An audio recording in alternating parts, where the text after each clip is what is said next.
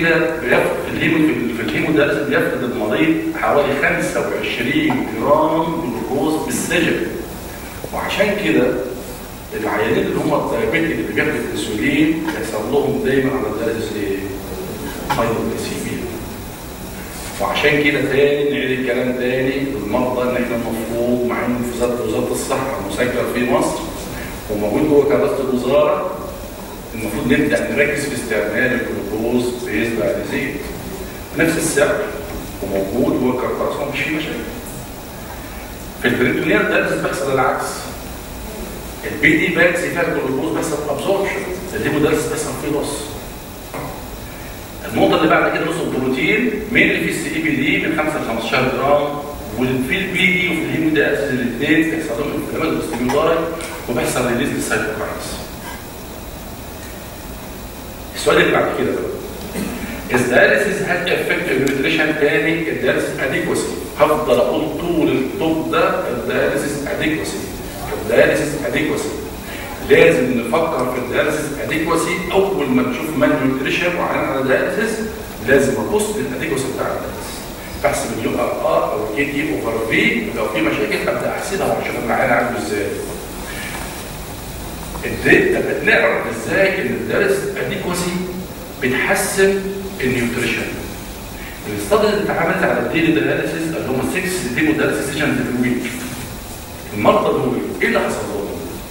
حصل لهم improve ال appetite وال food intake general feeling of well being increase ال physical activity fewer dietary restrictions. Decreased dose of medication. اللي هو الفوسفيت والبوتاسيوم بيندرز والأنتي هايبرتنسيف ميديكيشنز. انكريز الكليرنس والبوتنشال انالوسي فاكتور والريف السيرم ليفلز تخيلوا كل ده حصل من وجود دايليسيس عشان كده إحنا أول بنشوف المان نولج ديفيشن وعيان على دياليسيس لازم أفكر في الاديكواسي بتاع الدياليسيس أفكر فيه وأشوف المشكلة اللي عندي فين وأركز عليها وأصلحها. نبدأ بقى في موضوع الايه؟ المنطق نشوفش المنطق ونأكد عليه حاجة سبيشال كتير في كده بالنسبة للداخل الفرص المرض كده سي بي تي أو بيكون عندي بعض الخطوات بسيطه أولها في الامبورتنت انتنس ال calories عندي في البروتين في الكربوهيدرات في ال fat وال cholesterol. الفوسفورس عندي من السيس 3 ببدأ أركز عليه وأشوف لازم أبص عليه لأنه بيحصل في زيادة في الفوسفورس. الستيج 3 في ال hemodialysis عندي ببص على على دول بالإضافة اللي عندي للصوديوم fluids بوتاسيوم والكالسيوم طب individual difference عندي size وال stage of CKD برضه ال CKD بشوف أنا هو في أنهي stage ال nutrition بتاعته وال lab results في ال hemodialysis بس أنا بشيل موضوع اللي هو ال stage لأنه طبعا هو في ال end stage renal disease مش محتاج إن أنا أعرف انهي stage بالظبط لأن هو خلاص بيكسب ال diet goals عندي ببص على ال weight وال nutrition management of blood pressure والجلوكوز يزداد عندي في ال hemodialysis بس ال minerals وموضوع البوتاسيوم والفوسفورس وتركيزه وكذلك ال fluids أول حاجة عندنا هنتكلم عنها عن ال calories. ال adequate energy intake essential to optimize nutrition status مش الطبيعي. طيب ده ال present ال calories ده بيبقى موجود فين عندي؟ أو ال source of calories أو energy إيه؟ هم ثلاث حاجات. مصدر الكربوهيدرات مصدر ال energy عندي الكربوهيدرات وال fat والبروتين هم دول اللي أنا بحسب منهم في ال calories أما بالنسبة لل minerals وال vitamins ما بتدينيش calories دي حاجة ثانية طب ال calculating عندي بعتمد على إيه؟ ال current weight بتاعي ال weight loss goal age gender وال physical activity and metabolic stress هم أنا بحسب تبع السن عندي. إذا كان أقل من 60 سنة بديله 35 كيلو calorie per kg per day إذا كان أكتر من 60 بتقل عندي ال calories على أساس ال physical activity برضه بتاعتها بتبقى أقل. فالاذا كانت ممكن بتقل عندي توصل بس ل 30 كيلو calorie per kg per day طبعا لازم أشجع على موضوع ال physical activity وإذا حصل ال energy intake عندي بيزيد لو حصل فيه زيادة في أو تبع مستوى أو ال level بتاع activity هندي مثل هندي مثل عشان بقى الناس تصحى معانا. عندي 40 years old male patient. Known to have end stage renal disease in hemodialysis his dry weight 80 كيلو ال height 160 سنتيمتر can you calculate ال caloric intake يلا حد كده يقول لي إزاي هنحسب ال caloric intake إحنا خدنا خدنا الدكتوره قالت خدنا المعادله أقل من 60 هتديله 65 كيلو جرام سهل. طب إزاي هحسب هحسبها عندي إزاي؟ اللي هو أقل طبعا عنده 40 سنة. و male وال dry weight بتاعه 80 وال height بتاعه 160 فدي دي إحنا ده هدف مهم جدا. ان حضرتك تحسب العيان هياخد calories قد إيه عشان تديله أقل يخش في malnutrition وتديله زيادة يخش في obesity. يعني بمعنى أنا اضرب دلوقتي 80 بضربها في اللي هو طبعا أقل من 40 سنة بضربها في 35 بضرب بضرب 40 هل هو ده صح ان أنا امشي عليه ولا لا؟ يلا. نبدا إزاي؟ نضرب كده يا دكتوره رانيا يلا دكتوره رانيا إحنا أول حاجة في البداية لازم أشوف هو BMI بتاعه بحسب ال weight بتاعه طبعا الكيلو جرام على مربع طلعت إن هو عندي في الحسابات إن هو 31 وربع يعني obese class إيه؟ class 1 أشوف ideal body weight بتاعه كام؟ ثانية بالمعادلة. يعني في طريقتين للحساب يا إما بالمعادلة اللي دي بعمل plus 50 بالنسبة لل male وال female ب 45 ونص. آه، هنا بقى ممكن اعملها بطريقة بسيطة. هو دلوقتي وزنه 80 كيلو ال body mass index بتاعه 31 وربع. طيب ال normal عندي المفروض ما يوصلش أكتر من كام؟ 24 9 من 10 طيب بعلم بالمقص كده عملية حسابية بسيطة جدا كنا بناخدها في الابتدائي وصلت لكام ال ideal body weight عندي تقريبا 64 كيلو.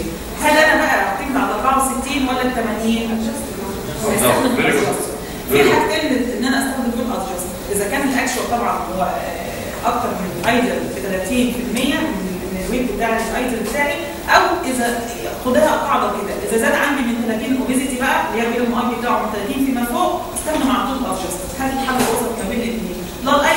ولا اللي هو ال actual الموجود عندي بستخدم ال adjusted عندي اللي هو ال actual عندي هو actual عندي 80 ال ideal عندي كام؟ 64 بضرب ال factor عندي اللي هو 38 لأنه 38 من 100 لأنه male لو female 32 من كام؟ من 100 في ممكن الناس تستخدمها معادلة إن هي تبقى 25 من 100 سواء كان male أو female بس الأصح إنها طبعا ال male بتختلف عن ال female آه وبقى بضيف عليه weight طلع إن هو 70 كيلو أنا دلوقتي ما بمشيش على 80 وما بمشيش على 64 لا أنا بمشي على كام؟ على 70 ده اللي ده اللي بحسب عليه ال calories بتاعتي يبقى أنا بضرب ال 70 في ال 35 طلع عندي كام؟ 2450 كالوري يعني ال patient ده محتاج مني إن أنا أعمل له diet وأعمل له plan ال diet بتاعتي على أساس ال energy بتاعتي كام؟ 2450 أو 2500 كالوري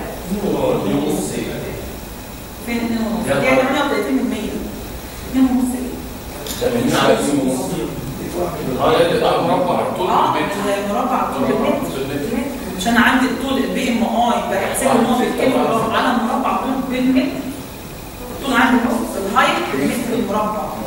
يعني مثلا واحد طوله 160 سم يعني واحد وستة من عشرة بضربه في نفسه مرتين. فطلعت إن هي 2 56 من 100 واضحة يا جماعة؟ very simple و straightforward بس تفرق كتير جدا برضه حضرتك. ممكن تقعد تحسب ال total calories ال total calories دي انت حسبتها وبتبدأ بقى الدكتور هيقول لك هتقسمه بين الثلاث حاجات الرئيسيين. البروتين كام الكربوهيدرات كام وال lipids كام. تعرف هم تقول لك خلاص هم 2500 هتقسمهم بين الثلاث أصناف. التوزيع بتاعها هيبدا بس. أول حاجة قبل ما أبدأ الكلام ده لازم أعرف ال portion أو ال serving بتاعي يعني مثلا علبة الكبريت بقى دايما بيقول له إيه؟ ادي المريض علبة كبريت كيلو لحمه قد علبة الكبريت طب علبة الكبريت دي قد إيه؟ ممكن تكون علبة الكبريت قد كده؟ دلوقتي بقت حجم يعني صغير في كبريت مصر وفي كبريت الماني وفي كبريت اسرائيلي وفي في كبريت يعني. ابسط حاجة التعبيرات بالكف نفسها. تعبير بسيط جدا. إن أنا ممكن أقول له خد ثلاث بقيات أو الانصه اللي هي الثلاثه دي يعني قد بايد الريست كده حتة يا دوبك ما تكونش تخينه كبيرة يعني حتة صغيرة كده يا دوبك قد كف الايد ده طب ممكن الربع كم اللي هي يا دوبك قد كفن سؤال بس معلش عشان بس هو برضه إحنا يعني الغرض من ديت؟ هي الوقيه أيوة. عايز. حضرتك عايزة تاخدها كام جرام ليه؟ بتبقى 30 جرام تقريبا 30 جرام هو بس مع استأذنك بس الغرض من قصة الصور دي إيه؟ إن إحنا المريض بتقعد معاه بتقول لك بتقول له أنت هتاكل حتة قد كده ده يقول له حتة قد كده فإحنا بنحول الشكل والوصف إلى جرامات. الغرض من الكلام ده كله بنحول الوصف والشكل إلى جرامات. سواء منه ليا أو من أو منه ليا أو مني. لو في ال history حتى في ال history يقول لك أنا باخد حتة. بعد كده. خد دي كده. يقول انت خدت كام؟ لي أنا خدت حتة قد كده. عشان نحول الوصف. مني له. يعني طريقة حوار أو لغة ما بيني وما بينه. طبعا ال- الأرض الايد كلها بتمثل حوالي كوباية. بالنسبة لنص الأرض الايد بتبقى نص كوباية. آه، المعلقة الصغيرة بتبقى قد بس صغيره فينجر بس كده. طيب ال 30 جرام أو الكوباية دي 30 جرام دي بتساوي كام؟ فينجر بس. دي حوالي السؤال في الحتة دي الدكتور مبروك الشيخ كان قال إن عشان أخد جرام بروتين اللحمه لازم اخد 4 جرام. طب استنى بس خليك معايا. خليك معايا. طول بالك عليا. طول طول بالك عليا. وهشرحها لك بطريقة scientific و very simple هقول لحضرتك ال source بتاع البروتين عندي من أربع حاجات مش بس very simple بس طول بالك عليا بس شوية يبقى كده أنا عرفت ال food portion عندي إن أنا أقدر إن أنا أعمل estimation إزاي. أول حاجة بالنسبة لمكونات ال calories اللي هي البروتين. البروتين طبعا ده essential for building muscles repairing tissue fighting infection بالإضافة إن هو keeping fluid balance in the إيه the في نوعين من البروتين عندي. في بروتين اللي هو ال high biological value ده بيحتوي على amino essential amino acid زي البروتين الموجود عندي في اللحمة والسمك والبيض والألبان. في ال low biological value اللي هو البروتين النباتي ال plant protein زي اللي موجود عندي في العيش حبوب بقوليات الفاكهة آه، ونسبته ضئيلة جدا في الفاكهة بس برضه الحاجات فيها بروتين. ال vegetables برضه موجود فيها بروتين. إيه النسبة بتاعته لازم يكون ال high biological value قد إيه وال low biological value على الأقل يبقى من 50 ل 70% من البروتين بتاعي اللي أنا هاخده ال protein intake يبقى من 50 ل 70% high biological value ما اعتمدش ان هو يكون كله. ممكن اوفره عن طريق بيض بيض عن طريق لبن. لو هو مش قادر يشتري حاجات ثانية يبقى أنا لازم يبقى ال balance diet اللي هو بيحتوي في ال kidney patient diet for kidney patient اللي هو بيحتوي على النوعين مع بعض.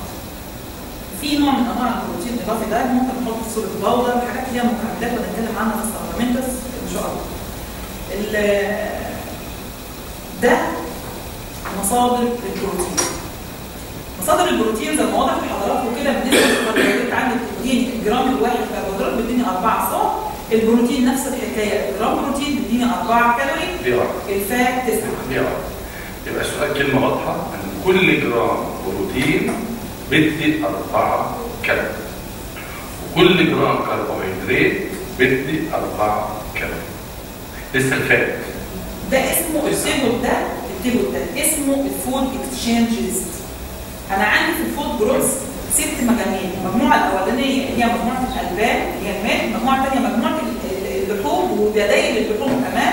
وفي المجموعة الثالثة اللي هي النشويات أو الخبز والنشويات اللي هي الثالثة اللي هي الرابعة اللي هي ال vegetables الخامسه ال fruits والأخيرة اللي هي ال fat كويس هي مجموعة الدور يبقى أنا عندي في المجاميع الغذائيه ست مجموعات. المجاميع هنا اللي بتديني فيها المصدر للبروتين اللي هي مجموعة الألبان مجموعة اللحوم الألبان المجموعة الواحدة أو ال serving الواحد المقدار الواحد serving عندي إن أنا بوحد ال serving إن هو يديني 8 جرام بروتين. بمعنى كوباية اللبن دي اللي هي 240 مللي بيبقى فيها 8 جرام بروتين.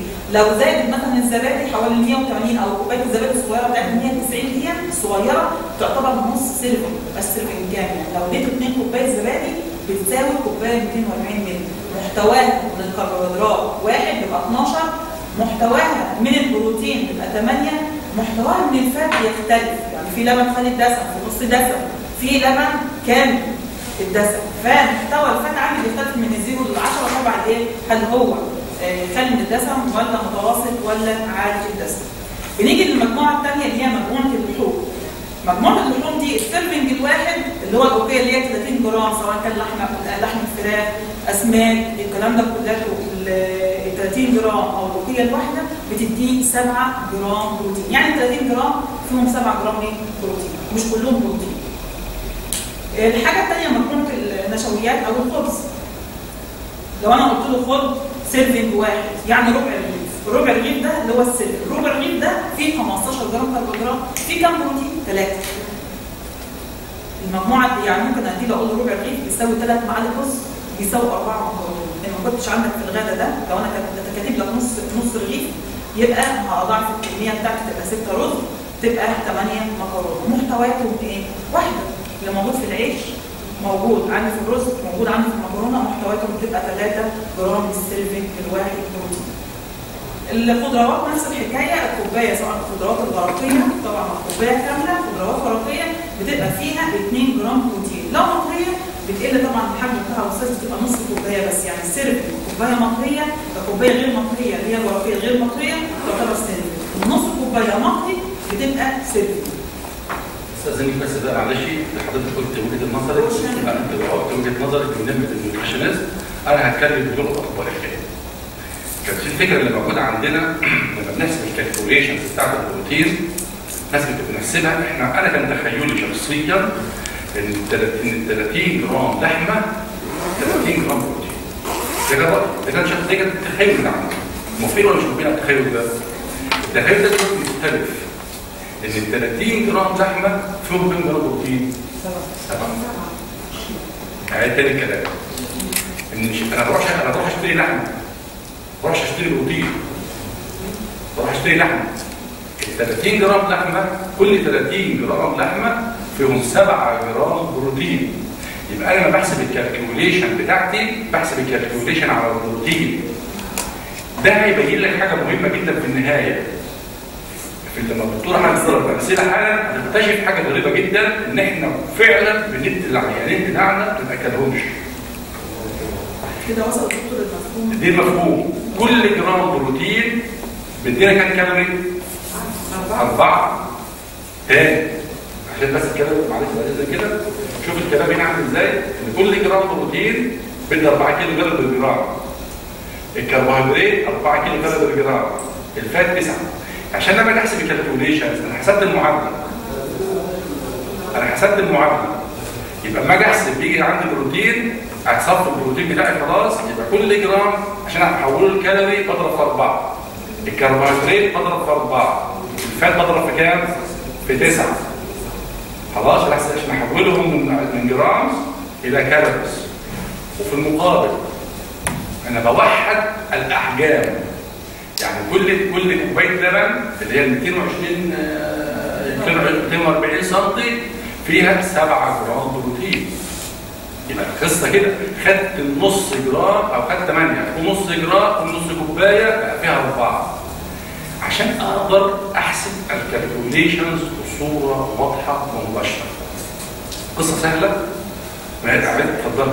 بعدين كيف نحسب نحسبها بالكامل هديك أنا هديك مثلا حاجة هو إزاي تعمليها. إحنا في الأول بس أنا بس بديك أنا بس بثبت في دماغك ال concept اول إزاي انت بتعملي تستخدمي ال food exchange بس- بدائل ما عندكش أنا- ده خد ده خد ده. بس المحتوى عندي وأنا عارفة إن هو في كربوهيدرات في كذا في كذا في كذا. يبقى أنا كونت في خلال وده هيبان هنا في الحساب إن شاء الله. واضحة يا اتفضل اللحمة موحدة يعني أنا patient بيسن اللحمة. طبعا يعني زي الدجاج شوف ده البروتين بتاعه واحد. بروتين واحد. بروتين آه أنا المقدار بتاعه في البروتين نفس الحجم ده هو نفس البروتين اللي هنا نفس البروتين اللي هنا. الاختلافات بقى طبعا ممكن ال choose ما بينها وبين بعضها. نسبه فيها fat كذا كذا هو اللي ده محتوى انت تروح لك- تروح للجزار تقول له اديني حتة سمينة أو حتة بالسمينة.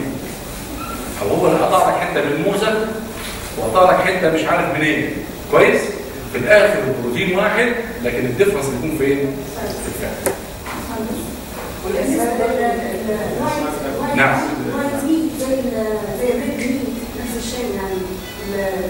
بتاع هو بس شوف النظام ان انت بتيجي مثلا عندك patient عنده مشكله مثلا في ال uric acid عنده عالي بتقولي له إيه؟ ما تاخدش لحوم حمراء خد لحوم إيه؟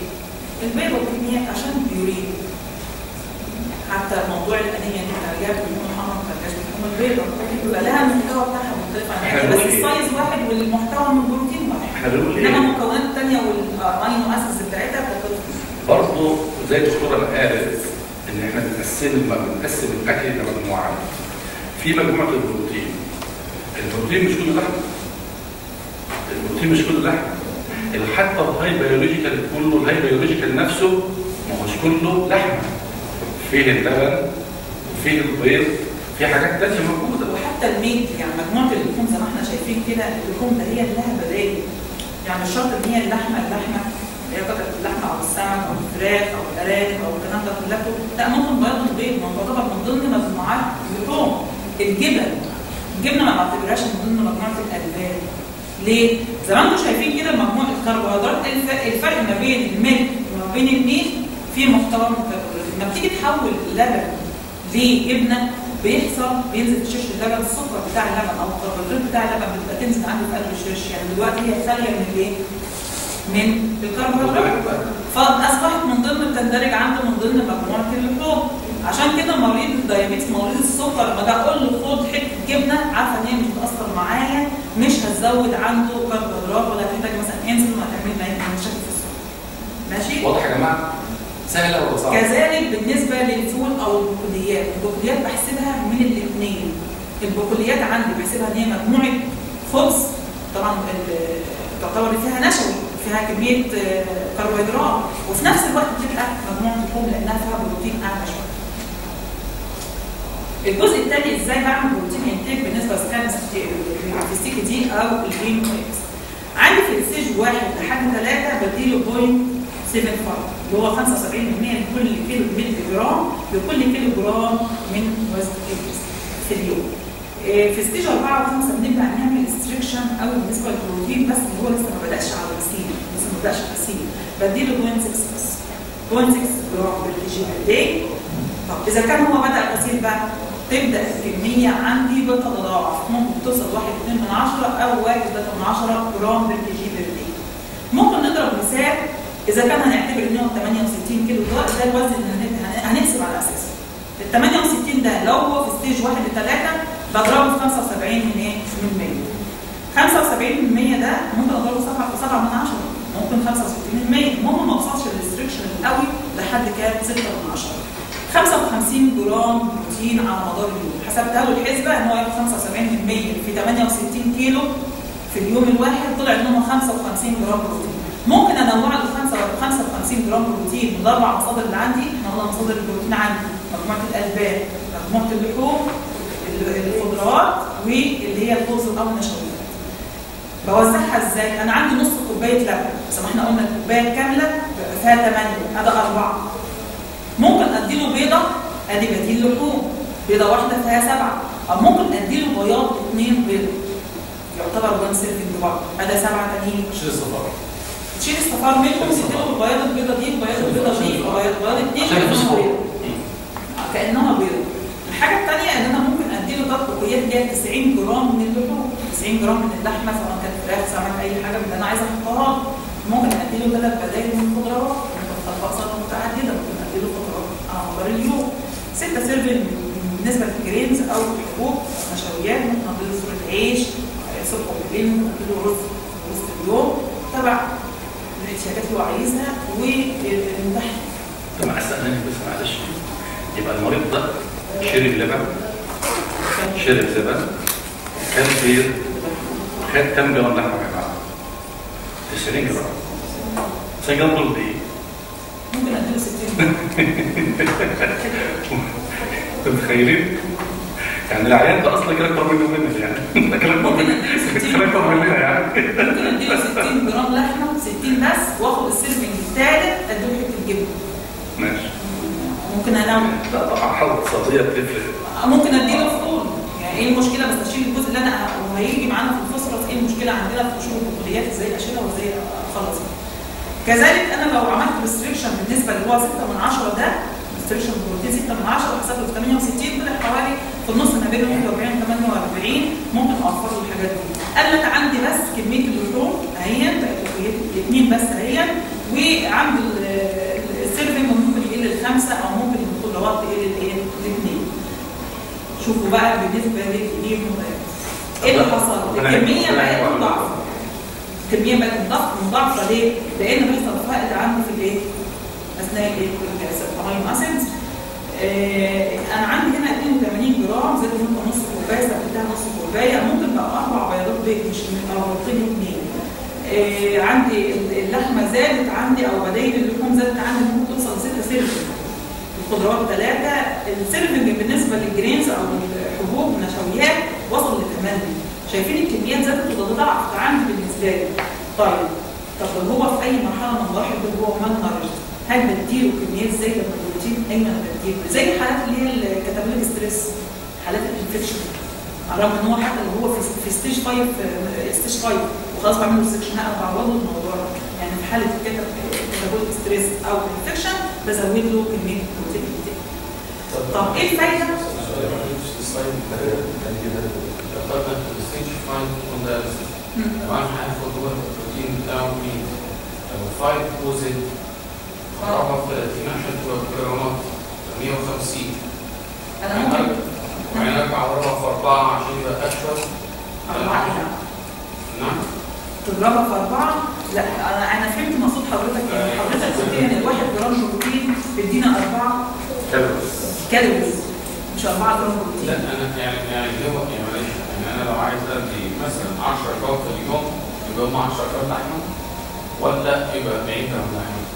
قلنا إن اللحمه فيها بروتين مش كلام لا لا لا استنى. أنا عايز أفهم طب حتة لا لا. يبقى يبقى لسه المفهوم ما وصلش لحضرتك أنا عايز أفهم. آه.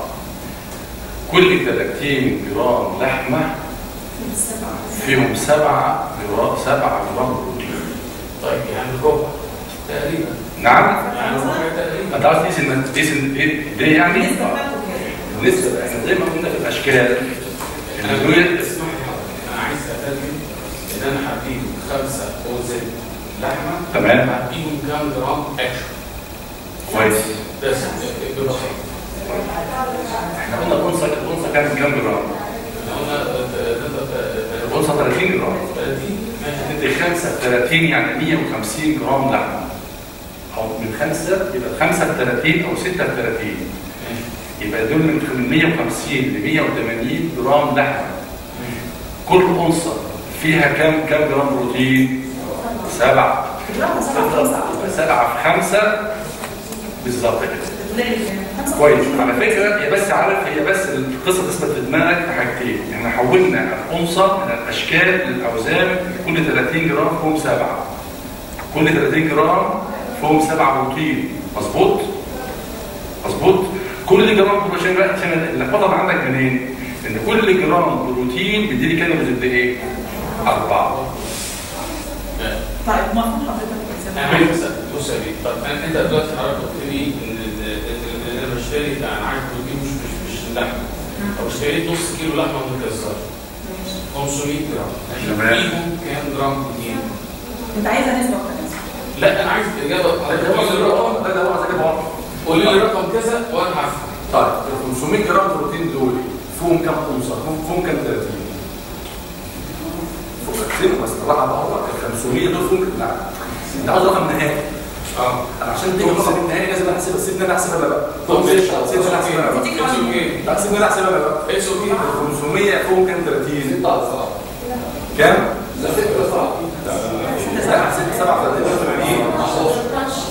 أو 16 انت خد رقم سهل اخد رقم سهل؟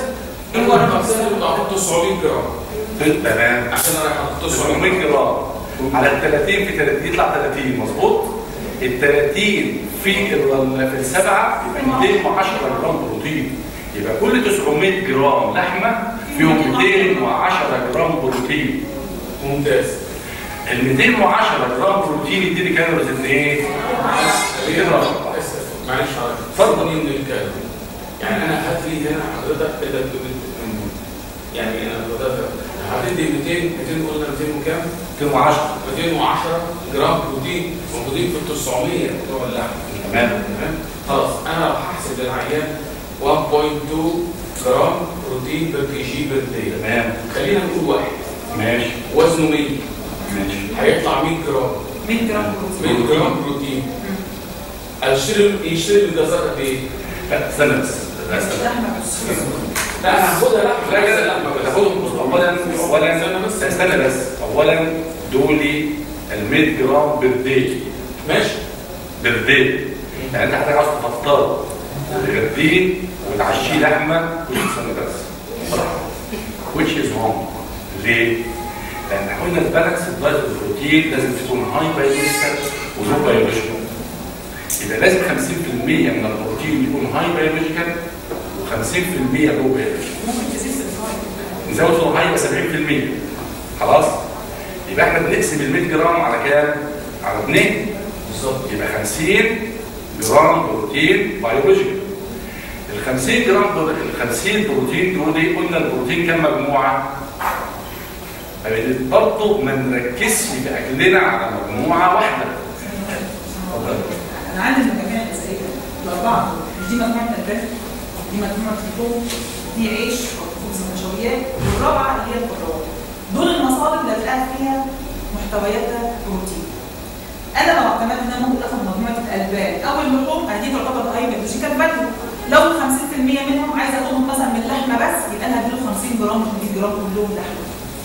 يبقى أنا هديله أي بدائل بتاعتهم ممكن أديله بياض بيض 50 جرام بروتين. عيش ماشي يساوي كام؟ ده اللي حضرتك عايز كلحمة من عند الجزار لحمة صافي هضربهم في أربعة؟ لا هضربه في أربعة. ليه؟ طب أنا طيب أنا هضربهم في كام؟ هتضربه في كام؟ أنا عندي دلوقتي 50 جرام. ممكن أجيبه طريق عن حضرتك النهارده ندي 50 جرام لحم المهم والله لحضرتك سهلة وبسيطة. أنا عندي نسبة نسبة وتناسب. أنا عندي 30 جرام لحم فيهم 7 جرام بروتين. السبعة كام بيمثلوا من 30 حوالي الربع طيب. حوالي الربع.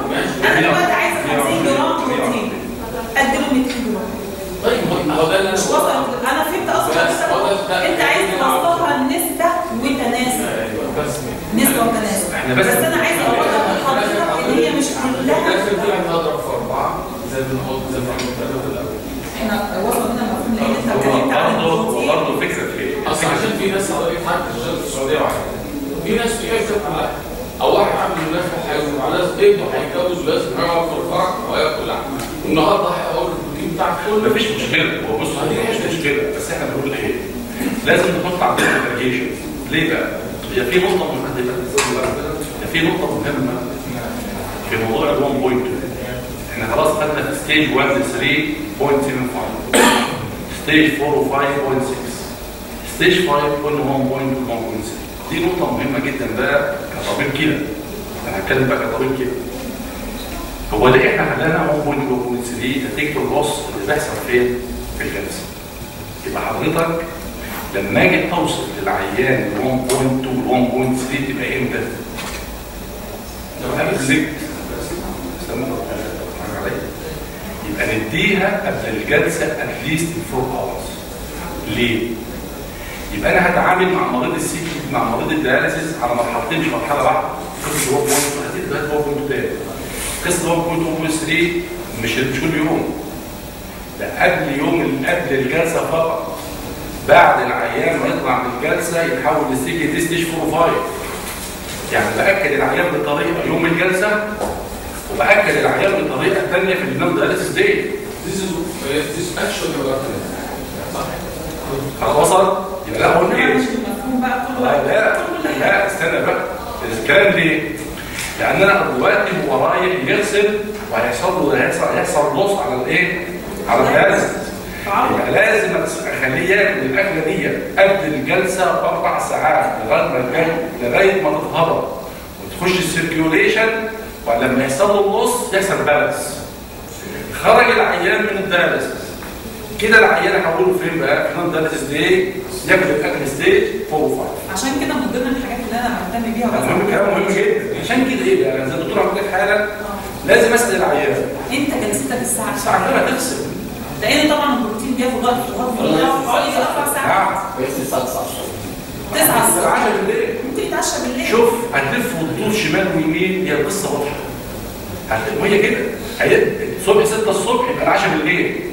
بياكل بالليل قبلها أربع ساعات. القصة واضحة. القصة واضحة ليه؟ لأن إحنا لما بنيجي نثبت الدايت هي المشكلة فين؟ المشكلة إن المريض بيجي لك العيادة أو بيروح ال dialysis unit يوم الدكتور قطع ورقة واديها له. قطع ورقة واديها له. ده هنا هنا الخطورة. الخطورة فين؟ في مرضى ال dialysis إنك لازم تدي ثقافة للطبيب والمريض إن قبل الجلسة الفترة اللي قبل الجلسة ال diet مختلفه عن الفترة اللي بعد الجلسة وتاني ال 1.2 وال 1.3 دي مقصود بها اللي هو الفترة اللي قبل الجلسة عشان أعوض ال loss اللي هو كنا كام من كام لكام؟ فاكرينه؟ كام في أمريكا مثلا؟ كام بيغسل كام على الجلسة؟ كمية average 10 جرام بروتين ال amino acid اللي بيفقدهم لازم يكون داخل جسمه قبل ما يخش على الجلسة. موافق؟ وصلت كده لسه؟ وصلت؟ عشان كده أنا- قصة مختلفة القصة مختلفة القصة مختلفة الأكل اللي قبل الجلسة غير الأكل اللي بعد الجلسة غير الأكل اللي بين ال non dialysis day وأثناء الجلسة أنا طبعا بيحصل فيه loss عندي 25 جرام جلوكوز مش زي يعتبر تعتبر عندنا الحاجات دي في حدود 25 جرام 25 جرام دول يبقى دي فيه سعرات زي- زيادة هديها له وهعوضها له غير الدايت بتاعه يعني حتى الأكل اللي هياكله أثناء الجلسة ده حاجة زيادة عشان أعوض بص اللص اللي حصل عندي في. الجلوكوز. يعني ممكن نقول حاجات مصدر الكربوهيدرات. هو لما نيجي نتكلم عن الكربوهيدرات. طيب إيه الفايدة من إن أنا أعمل له بالنسبة للشغل سري فيتامس سري فيتامس مستيك سري إيه؟ سري فيتامس. سري سيرفيك. سري فيتامس آه سري سيرفين ثلاث لا فيتامس هي مش عندك في الثالث دي فيجيتابلز اللي هي زي سري سيرفين زي الجزء فوق سيرفين مش أنا لما جيت اتكلمت في الجدول على الأكل. على فكرة دي أصعب حتة في الموضوع عشان أنت بنقلب زي ما قلت لكم من الأول لما الدكتورة جابت الرسمة ديت الرسمة دي والكلام ده كله إحنا بنقلب المعايير لجرامات لبروتين لكربوهيدرات فات. كلمة ال serving يعني إيه في الخضار؟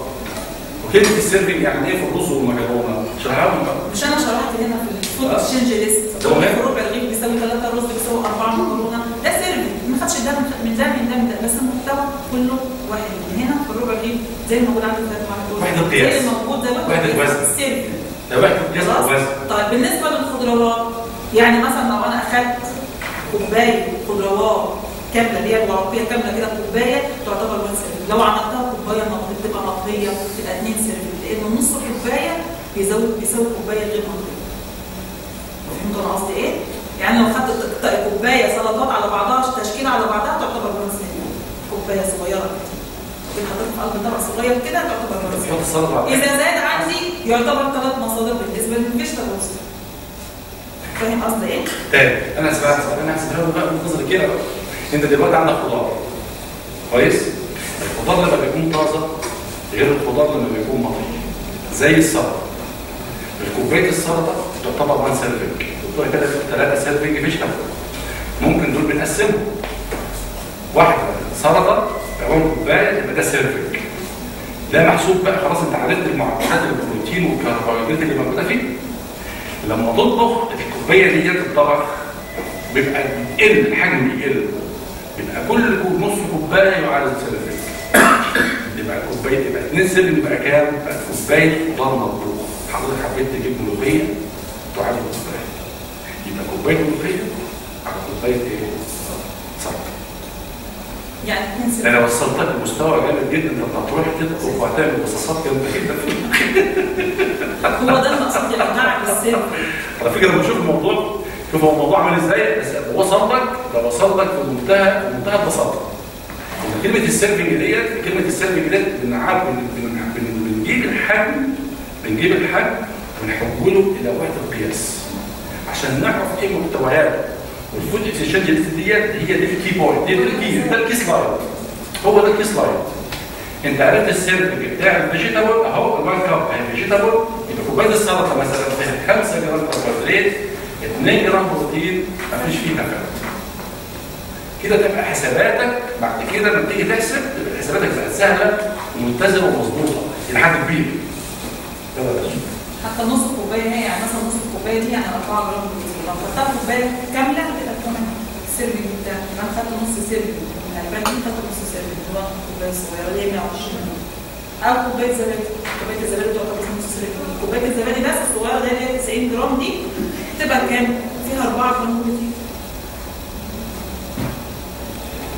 إيه فوائد بقى بالنسبة لل low protein diet إحنا طبعا إحنا طبعا لما جينا شرحنا ال- ال- ال low protein diet وقلنا ليه إحنا بن- بنقلل ل 0.6 و 0.75 وقلنا الدارسس ليه بنعمل الكلام ده ليه؟ لأنها بتعمل إيه؟ ال uremic symptoms diminish و disappear specially nausea و vomiting اللي هم السي تي دي reduce ال burden of uremic toxins specially اليوريا والفوسفيت والبوتاسيوم في بقى النقطه المهمه إن ال low protein diet فعلا بتعمل slow progression of the renal failure ولها different pathophysiology أو different mechanisms اللي هم إيه؟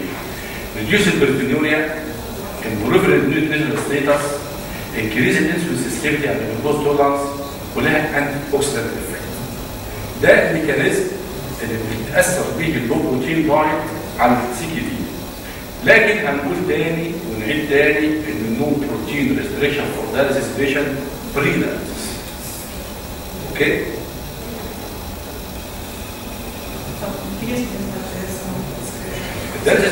السؤال طبعا هل الدرس بالسكريبشن بيتقال بتزود بتزود بتزود البروتين انتيك يا جماعة ولا لأ؟ ما تبصش السلايد المفروض آه ولا لأ؟ يا دكتور الدرس بالسكريبشن بتحسن بتحسن البروتين إنتيك ولا لأ؟ بتحسنه شوف السلايد هنا واضح جدا لما جه قارن البروتين كاتابوليك ريت بالكيلو جرام والويكلي كي تي أوفر ده بالنسبة للهيمو وبالنسبة بالنسبة للهيمو بالنسبة للبروتينات ده كل حضرتك ما بتعلى الكي دي في كل البروتين انتاج بتاعك بيتحسن. برضه هرجع تاني وأعيد تاني اديكواسي اوف دايلسيس هرجع وأعيد تاني الاديكواسي اوف It is very important وأنا بعتبره الخط الأول لعلاج المال نيوتريشن في الدايلسيس بيشن الخط الأول. كده اتكلمت عن البروتين يبقى تاني حاجة اللي هي ال lipids وصل وصل وصل البروتين يا جماعة. اهم نقطه بعد كده بص بعد كده سهل. ال patient دول بيعتبروا highest risk for cardiovascular disease ال nutrition therapy عندي في ال dyslipidemia بيعتمد عندي على ال patient metabolic profile و آه، ودي حاجات individualize ال treatment goals بتختلف على أساسها على أساس ال metabolic profile عموما في ال requirement بتاعتي بديله حوالي 30% من ال total calorie أنا عرفت ال total calorie بتاعتي كام بديله 30% من ال total calorie عن طريق ال fat أو الدهون. آه، ممكن بتقل عندي في حالات ارتفاع ال triglyceride والكوليسترول. في عندي نوعين من من ال fat يا جماعة. في حاجة اسمها ال unsaturated fatty acid وفي ال saturated fatty acid ال saturated بمعنى بسيط جدا ما بتكون درجه حرارة الغرفة العادية كده بتبقى سمنة صلبة حاجة صلبة دهون صلبة. أما بالنسبة لل unsaturated حاجة الدهون السائله بس السائله زي إيه؟ أي نوع من أنواع الزيوت. باستثناء مثلا زيت النخيل زيت النخيل ده بيبقى يحتوي على ال saturated أكتر. saturated fatty acid أكتر. طيب آه، في في ال unsaturated fatty acid في حاجة اسمها ال poly. ال polyunsaturated وفي ال monounsaturated ال poly زي زيت الزيتون زيت الذرة زيت عباد الشمس أي نوع من أنواع زيت بذره القطن. ده كلها بولي انساتيوريتد طب المونو انساتيوريتد زي اللي موجود عندي. زيت الزيتون زيت الحار وفي زيت اسمه الكنمه الكلام ده كله هو اللي بيبقى فيه مونو انساتيوريتد في فاتي اسيد أفضل نسبة بالنسبة لي عندي أجي اوسع 30% دول لو اديت 8 أقلهم بستخدم الساتوريت بكميات قليله جدا. ودي ممكن حتى لو عملت ان أنا ما استخدمتش السمنة ما استخدمش الدهون الزهرة دي الكلام ده كله في اللحمة شفت جلد الفراخ الكلام ده كله. بس بيبقى ده ما يعفيش إن هي في في ساتوريت في وسط حاجة بيبقى فيه ما بين التيتشرز وبعضها بيبقى فيه ساتوريت فاتي اسيد لو أخذ فراخ أو لحمه أو ده بيبقى نسبته 8% 10% بديله بولي انساتوريتد ممكن بديله بقى إن هي المونو تبقى النسبة الأكبر بتاعتنا تبقى مونو انساتوريتد فات اسيد بعمل ريستريكشن بالنسبة للكوليسترول في الدايت ما تزيدش عندي عن 300 مللي جرام آه، آه، طبعا بتبقى أهمية بقى الأوميجا 3 فات اسيدز اللي هي بتقلل ممكن الترايجليسيرايد والكوليسترول از ويل از فوسفوليبيز مينلي الليبيد ديس اوردر مشاكلها في السي كي دي والهيموجلوبين شوفوا إحنا هنا في ثلاث قصه كده بادئة من السكي دي 1 لغايه لغاية ما عملنا هيمودياليسيس أو دي إحنا عاوزين نشوف إيه اللي بيحصل بالنسبة للكوليسترول الكوليسترول والهايبر والترايجليسرايد والاتش دي الكوليسترول بيفضل ماشي مظبوط مفيش فيه مشكلة مع السي كي دي لغايه سي كي دي 5 حتى في ال hemodialysis بيبدأ يزيد إمتى؟ لو حولت المريض لل peritoneal dialysis ودي من ضمن ال metabolic complications وال peritoneal dialysis اللي هي ال hypercholesterolemia العيانين اللي بيزرعوا برضه الكوليسترول عندهم بيزيد برضه دي من ضمن برضه ال complications بتاعت ال transplant ده بالنسبة للكوليسترول تعالوا بقى نشوف ال triglyceride ال triglyceride slowly بي progress increase increase increase حتى في ال hemodialysis وبرضه في ال peritoneal dialysis بيبقى stable ما بيتغيرش ما بيبقاش بقى زياده أكتر من كده. لما العيان بي إيه. يعني بيحصل hypertriglyceridemia من ال CKD كل ما بنعلى ال CKD stage 1 ل 2 ل 4 ل 5 بيفضل بيفضل ال triglyceride بي إيه؟ بيعلى مع ال CKD مع ال dialysis patient حتى في ال transplant بيبقى stable بس still high تعال نشوف الاتش دي ال الاتش دي ال ده هو ده بيكون بينيفيشال ولا وسط للبودي بينيفيشال ولا كويس ولا وحش؟ كويس. الكويس اهو إيه اللي بيحصل له. مع السكي دي بيقل. بيفضل يقل يقل يقل في البي دي برضه حتى برضه بي- نفسه في البي- بيتحسن إمتى؟ العين نزل يبقى نقول إيه؟ دي بتتفرض في السي دي وفي الدياليسيس. بيحصل hypertriglyceridemia بيحصل كوليسترول بيبقى stable في ميعاد ال transplant وال HDL برضه بيقل. وبيتحسن مع ال transplant okay؟ الكربوهيدرات ده تاني مكون عندي من الاوسوس بالنسبة لل calories الكربوهيدرات بيمثل يا إما نقول ان هو بيدي حوالي 55 ل 60% من total calorie يا إما لا حسب هنحسبها مع بعض حالا. أول حاجة النسبة دي النقطه ايا كان 70% بديله complex sugar لأنه بيقلل من تكوين ال triglyceride واللو لو برضه إن هو بيعمل improve ال glucose tolerance و30% بديها له simple sugar لأن ال triglyceride بيبقى جاي مصدره الأساسي أصلا عن طريق ال simple sugar أو السكريات الكربوهيدرات ممكن أحسبها. ان أنا عندي دلوقتي معلومة عندي ال total calorie وعارف جبت البروتين وجبت الجرامات بتاعته اعتمادا على ال weight. ممكن أطلع نسبه الكربوهيدرات بتاعته كام؟ إن أنا بضربها في أربعة. زي ما قلت إن هي 1 جرام كربوهيدرات آه، بروتين بيديها 4 كالوري. أنا طلعت ال calories بتاع الإيه؟ البروتين. وعندي ال calories بتاع ال fat. أجمع ال fat والبروتين واطرحهم من ال total calorie دي ال total calorie بتاع الكربوهيدرات واقسمه على اربعه واضح يا جماعة؟ واضح؟ لا شكلها مش واضحه واضحة أنا براعي في الكربوهيدرات بقى أنت خصوصا الناس بعملهم بروفايل بالهومن بيشنت ويز عشان أحافظ على الهيموجلوبين 1 سي يكون أقل من كام؟ سبعه والهيموجلوبين A1 c من ضمن التحاليل اللي أنا بعملها كل قد إيه؟ كل شهور عشان كده بعمل حاجة اسمها كاربوليت كاربوليت يعني إيه المقصود أصلا؟ حد يقول بس يعني إيه counting ده موضوع مهم جدا. carbohydrate counting العيان اللي بيحصل إيه بالنسبة لنا في إحنا كأطباء.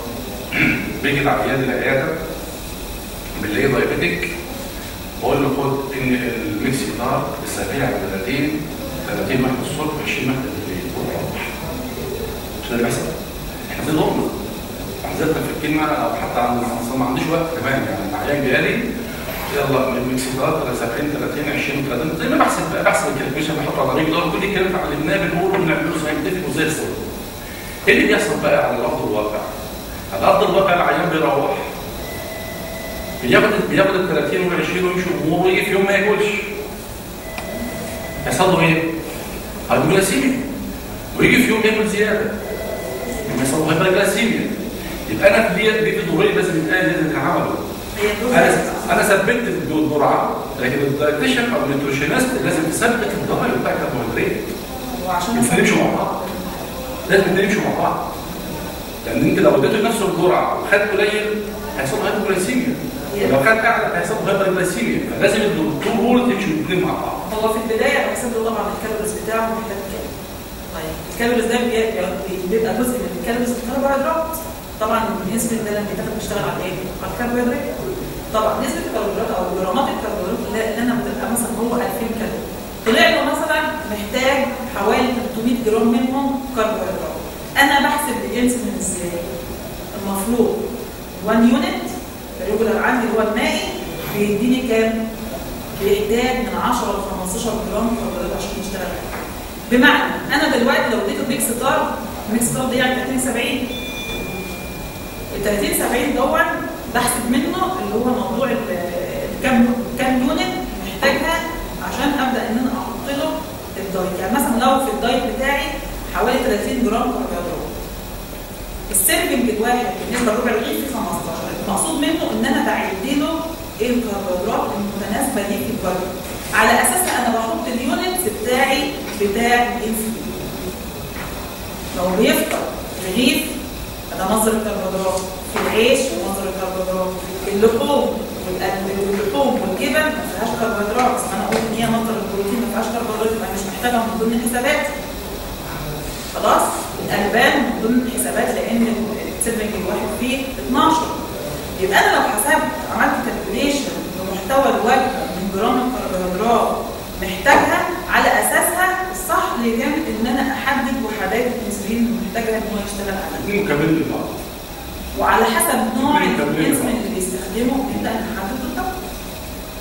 واضحه بس ماشي ثاني بس كم يعني الإنسولين كم؟ كم؟ من 10 15 جرام كذا هذا المكسات الصوري أي حاجة اللي هو المائي اللي هو الشرب اكل محتاجه ان هو حتى كده بس من ناحية النيوتريشنست تحسبها على المائي بعد كده بتحضرتك تحولي لهم دايت آه لون اكل أنت حضرتك تحوليه يعني هي حساباتها أو الاستانس اللي بتتعمل بالنسبة لهم النيوتريشنست على المائي إحنا بنحسب زي ما إحنا بنعمل؟ إحنا بنعمل إزاي؟ بنحسب البروجكتيف إزاي؟ بنحسب المائي وبعدين بندي الدكتور الصبح أو الدكتور الصبح كنت ده اللي بيحصل بالنسبة لنا. أنا المائي. لكن هي حساباتهم بال nutritionist تحسبها على المائي وبعد كده إحنا بنحولها لهم direct بس هي الفكرة في إيه؟ اللي أنا عاوز أوصلها ببساطة إيه؟ إن أنا لما بوصف انسولين لعيان اوصفه إن العيان ده ياكل steady steady amount من الكربوهيدرات بعلمه. لازم أعلمه. اعلمه إزاي؟ يعني أنت لو خدت في وجبتك مكوناتك أنت محتاج حوالي 100 جرام كربوهيدرات في الوجبة دي ممكن ربع رغيف ممكن الربع مثلا في 15 لو أنت خدت رغيف كامل يبقى 15 في 4 يبقى كده كام؟ ادي 60 جرام كربوهيدرات. ممكن خدت مثلا مش عارفة إيه خضار الخضار مثلا فيه 5 جرام مش عارف يبقى دي تعليمية. أنا بعلمه عندك من ده لده لده لده لده يبقى أنت كون مكونات الوجبة اللي يلزمك على الأقل جرعات الانسولين اللي إحنا مثبتينها؟ واضح يا جماعة؟ ال fiber عندي في ال fiber intake بتبقى من 20 ل 25 جرام في ال day بيرجع فايدة ال fiber اللي هي بتبقى موجوده أصلا بتبقى في الخضروات والفاكهة إن هي تعتبر من ضمن ال antioxidant يعني بتعمل increase ال antioxidant عندي وعلى ففي النهاية بتوصل إن هي بتقلل أو بتعمل decrease ال inflammation وال oxidative stress الهدف الأساسي عندي إن أنا بقلل من مشاكل ال cardiovascular diseases والمشاكل الثانية الصحية اللي بتبقى يعني أو ال complications بتبقى موجودة معايا. طيب آه، من ضمن الحاجات طبعا دي اللي هي الخضروات بتقلل من ال dietary acid loads برضه بتزيد اللي هي ال dietary acid loads دي بتزود أصلا ال inflammation يبقى أنا لما أقلل dietary acid loads يبقى أنا قللت ال inflammation بالإضافة إن أنا ال fibers ده له دور إن هو بينشط بعض الميكروبات اللي هي بتبقى موجودة عندي في القولون. الميكروبات دي بتنتج عندي اللي هي short chain fatty acids وبالتالي بتعمل decrease لل levels وبتزود ال sensitivity بالنسبة للإيه؟ للانسولين. طيب الصوديوم كنت بفرض الفكرة دي 25 من 20 25 جرام في الكيلو. يعني طيب أي خضروات كده هي برضه بالجرام على طول يعني مثلا مثلا الجزرايه الجزرايه يبقى وزن 20 جرام بس ده المفروض في اليوم ال fiber أيوه. مش جزراية 20 جرام. ما عايز اسالك يعني كام؟ وعاوز عاوز أحسبها إزاي؟ عايز تحسبها والله إزاي؟ في حاجة مش كده بتروح اونلاين هو عاوز يطبق عاوز يطبق على المريض بتاعه يطبق على المريض بتاعه إزاي؟ هتطبق على المريض دي هي دي شغلانه ال dietitian بس عشان هو هي دي شغلانه ال dietitian. تبقى عارفة محتويات الحاجات اللي بتبقى موجودة عندي في ال fiber موجود فين؟ معظمها عندي في الخضروات والفاكهة. لو اديت اثنين serving مثلا بالنسبة للخضروات وأربعة مثلا فاكهة. وأنهي نوع من أنواع الخضروات اللي بتبقى فيها fiber؟ تبقى أحسن ومفيدة وفي أنواع من ال fiber ما بتبقاش دوابة وفي fiber بتبقى دايبة زي اللي موجود عندي مثلا هل اللي موجود عندي في التفاح زي اللي موجود عندي في الخس وموجود في حاجات ثانية نوع ال- ال- السيلولوز أو hemicellulose أو الكلام ده كله. طب برضه حضرتك إزاي؟ نحقق ال 20 أو 25 ما أنا عاوز. أنا هقول لك أنا هقول لك. القصة كلها بتوصل فين؟ في اللي هي ال food exchange list. حضرتك لازم عشان عشان تبقى القصة بالنسبة لك apply طبق أنت بنفسك كطبيب diet لازم تكون في إيدك ال food exchange list هيبقى في جوه دور كبير وطويل وال food composition table بقى كمان الاثنين مع بعض ال food composition ده؟ ده بيبقى المصدر هنا بيبقى أكتر وأوقع ليه؟ لأن أنا ببقى محتوى موجود في ال fibers موجود الفيتامينات حتى. بالنسبة لفيتامينات ال B B complex كلها تصنيفاتها موجود عندي فيتامين C محتوى إيه؟ ال iron موجود عندي إيه؟ حتى البوتاسيوم والصوديوم والفوسفورس إنما بالنسبة لل exchange دي عشان أحسب بس البروتين كحاجه كده يعني أما الثانية لما أجي أعمل تحليل للوجبة عن طريق composition table مش الاكشن لو أنا مثلا بمر على عيان وشفت الوجبة اللي عندي وبعدين بشوف فيها ال fiber اللي عندي. أنا ممكن مثلا أضرب لي هو ده ادخل ولا زود ولا كده أنا عايز احقق طب هقول لك أهو بقى. المهم حضرتك هتجيب composition table هتجيب ال food composition استنى هتجيب ال food composition table دي نعم لا بص بقى اصل بص إحنا حضرتك انت ليك روح لا لا استنى أنا هو قال لك خلي بالك خلي بالك أنا مش عاوزك في الآخر بعد المحاضره حضرتك تروح تعمل diet المريض ده مش الهدف ده مش الهدف الهدف أنا بدي لك ال outlines وبديك بديك الاطار وعشان لما تيجي تتكلم وتقعد مع ال dietitian انت عارف تتكلم في إيه. القصة بالنسبة لها هي بتعمل إيه بقى ال dietitian بتعمل إيه أو ال nutritionist بتعمل إيه. بتجيب ال food composition table وتشوف الجزرايه الحمراء. فيها fiber قد إيه بتاخد السر بتاع الجزر اللي في السلطه وتشوف fiber fiber فيه قد إيه وبتجيب التفاح وبتشوف التفاحة المتوسطة 30 جرام فيها fiber قد إيه حضرتك عندك شغل ومشغول وعاد و busy more than إنك تقعد تشوف الكلام ده. فهي المفروض هي بتجيب إن حضرتك تقعد معاها تقول لها عندي ال vision ده. آه ده قصة كبيرة جدا. فأنت عشان تعرف الكلام اللي بتقوله ده ده هو المفروض بتاخد دورة دورة. بتقعد من 1 year ل 2 years عشان تيجي في الآخر تقول أنا أقدر اقعد وأوصف ال diet كامله للمريض الرينا واخد حضرتك انت حضرتك بتتكلم الكلام من وجهة نظرك الشخصيه اللي هي إيه؟ إن أنا عاوز دلوقتي ال fiber ده افرض جيت ال dietitian وقالت لي لا حط fiber قلت لها ده غلط. ممكن بقى إنك تجيب الكتاب وتفتح ال food composition table وتشوف هي وصف إيه للعيان. وصفة مثلا جزر حاطه جزر حاطه طماطم حاطه خيار حاطه فاكهه تفاح وتشوف ال fiber اللي موجود تجمعها وتشوف اللي كان كله بتاع الخضار والفاكهه ماشي مع الكلام ده ولا لا؟ القصة دي مش كده. بس طبعا أنا بقول الهدف من الآخر إيه؟ أنا بديك الطاقه لو أنت خدت مثلا ثلاثة سلك آه، بديك- بديك- بديك-. بالنسبة للخضروات وحوالي أربعة بالنسبة للفلوس توصل لل ماشي؟ هل ده وده واختيارك بقى لنوع الخضروات ده بيختلف بقى على تبع نوع الإيه؟ أنا بس أسمعه. أنا فهمت من حضرتك آه طب أنا دلوقتي الرقم ده فور ذا هيمودايلس بيشنت أو رينال بيشنت ولا لاي اي واحد هو؟ fiber بالذات النورمال ممكن ال normal ممكن يوصل ل 20 25 ممكن يوصل أكتر من كده. أنت عارف يا دكتور أحمد؟ بوصل عندي 30 35 كمان. في نقطة زي الدكتوره أنا مش عارف انت خدت بالك منها ولا لأ؟ لما بتشوف ال food composition table القصة مش قصة نوع. ده نوع شوف ال component. ان ممكن يكون fiber fiber فيه قسم عالي الرده مثلا آه. شوف ال component انت بتمشي آه. انت بتمشي سطر طويل كده وبتفضل ماشي وراه. ده فيه صوديوم ده فيه بوتاسيوم ده فيه فوسفورس ده فيه كذا ده فيه كذا. هو ده اللي حضرتك قلته إن أنا هبص ألاقي في طماطم في كذا. تمام. أنا مع حضرتك تمام. كويس. أنا بس باخد معلومة. ال requirement دي specific for our patient النوع بقى في في النوع نفسه. خصوصا ال- الخضروات. والفاكهه بيبقى صوص للجسم عشان كده اختيار النوع نفسه كمان إحنا ممكن نعمل دورة إيه رأيكم يا جماعة؟ والله العظيم. والله ممكن نعمل دورة one week مثلا one day per week ولا two days per week عايزه اسالك على ونعمل دورة هرمونية والله العظيم بتكلم بجد؟ والله العظيم بتكلم بجد. نعمل دورة clinical nutrition ونجيب فيهم الجماعة ال nutritionist وال nephrologist والمرضى ونقعد نعملها مع بعض إيه اصل إيه المشكلة؟ كل ايتم من البيشنت كير مهم. واي ايتم بينزل هيبقى هيبقى إحنا حضرتك بنتكلم علينا بس. هو ده بقى. ده تخيل تخيل بقى لما نعمل ديبات وهنتكلم على الدايابيتك وهنتكلم على الهايبرتنسن كل واحد بيدور منفصل عن الثاني ليه لا؟ حضرتك سؤال مع كذا كذا أو باراليزم كذا بعدين يجي ايتم زي كده موقع لك موقع دي مظبوط. الصوديوم بقى إحنا هنخش بقى في الكلام بقى المهم الاصعب لسه كمان هو الصوديوم طبعا الصوديوم بلاي زي بيتا رول الانيبيشن في اللود بالانس اند بلاد بريشر اتفضل يا باشا.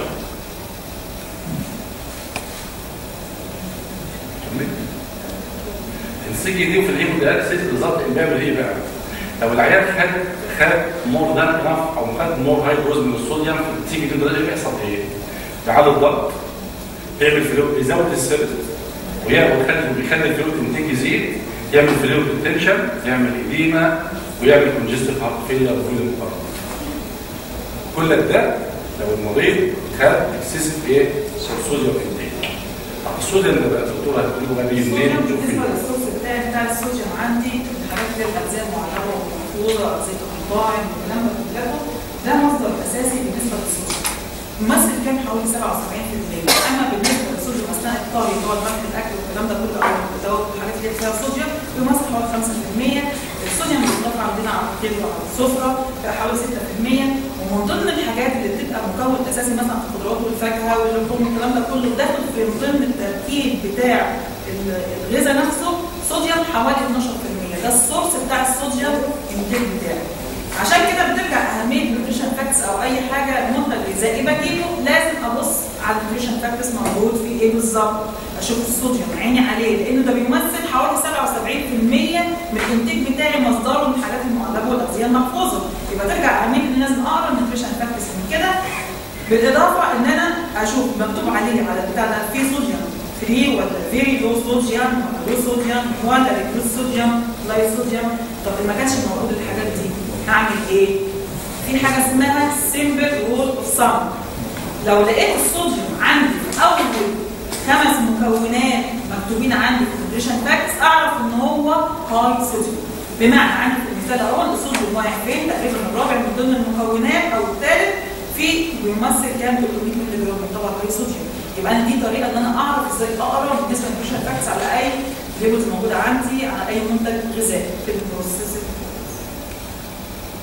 طيب. إيه الخطوات إن أنا أقدر أعمل decrease لل sodium intake اثناء الطهي نفسه إن أنا ببعد عن الحاجات اللي هي فيها high sodium وبستعين بالحاجات اللي low sodium إيه ببعد عن الملح ال- الحاجات اللي هي آه، شوط التوابل وبعض الأعشاب اللي هي بتبقى غنية بالصوديوم طبعا أبعد عنها.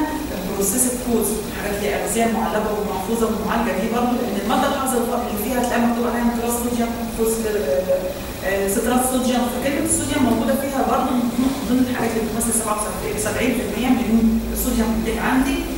طيب أنا قلت منعت ومنعت ومنعت. لازم أعوض الطعم الحادق. عندي أو الطعم اللي يخلي المريض يقدر يتقبل الطعام عن طريق بعض الأعشاب البسيطة عن طريق التوابل زي الليمون أي الحاجات دي كلها الليمون الخل بدل ما يحدق السلطه بتاعه بماء ب- مثلا بملح لا أحط عليها نص ليمون خلاص؟ لها دور برضه في الرصاص الحليب ويغير الطعم نفس الوقت هو حتى هو حتى مصدر من مصادر الصوديوم الايه المي مش بالدرجه اللي إحنا متخيلها لأن أصلا بتبقى معالجه لا ما بص حضرتك لا بصي لا لا بصي في نقطة أنا عايز أستأذنك بس كده. في نقطة حضرتك مش عارف خدت بالك منها ما خدتيش بالك إن هي دي نسبة 12% دي دي معناها إيه؟ المكون بتاع الصوديوم جوه ال component نفسه. سواء كان مية أو أكل.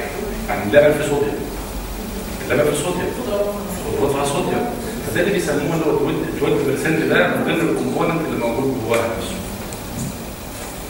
خلاص طبعا أبعد عن الحاجات اللي هي ال fast food في الشرق برضه كلها معظمها حاجات مليانة صوديوم عشان أوصل في الآخر حاجات بقى نسب متغيرة. المهم أوصل في ال range بتاعي من من 1000 ل 4000 مللي جرام per day سواء كان في PD أو hemo تبع الإحتياج بتاعك تبع ال list بتاع ال patient ببدأ احدد هو محتاج كام جرام كام جرام صوديوم وبرضه ده هيوضح لنا لما أجي أعمل علاقة ما بين الصوديوم مايكرو نعم.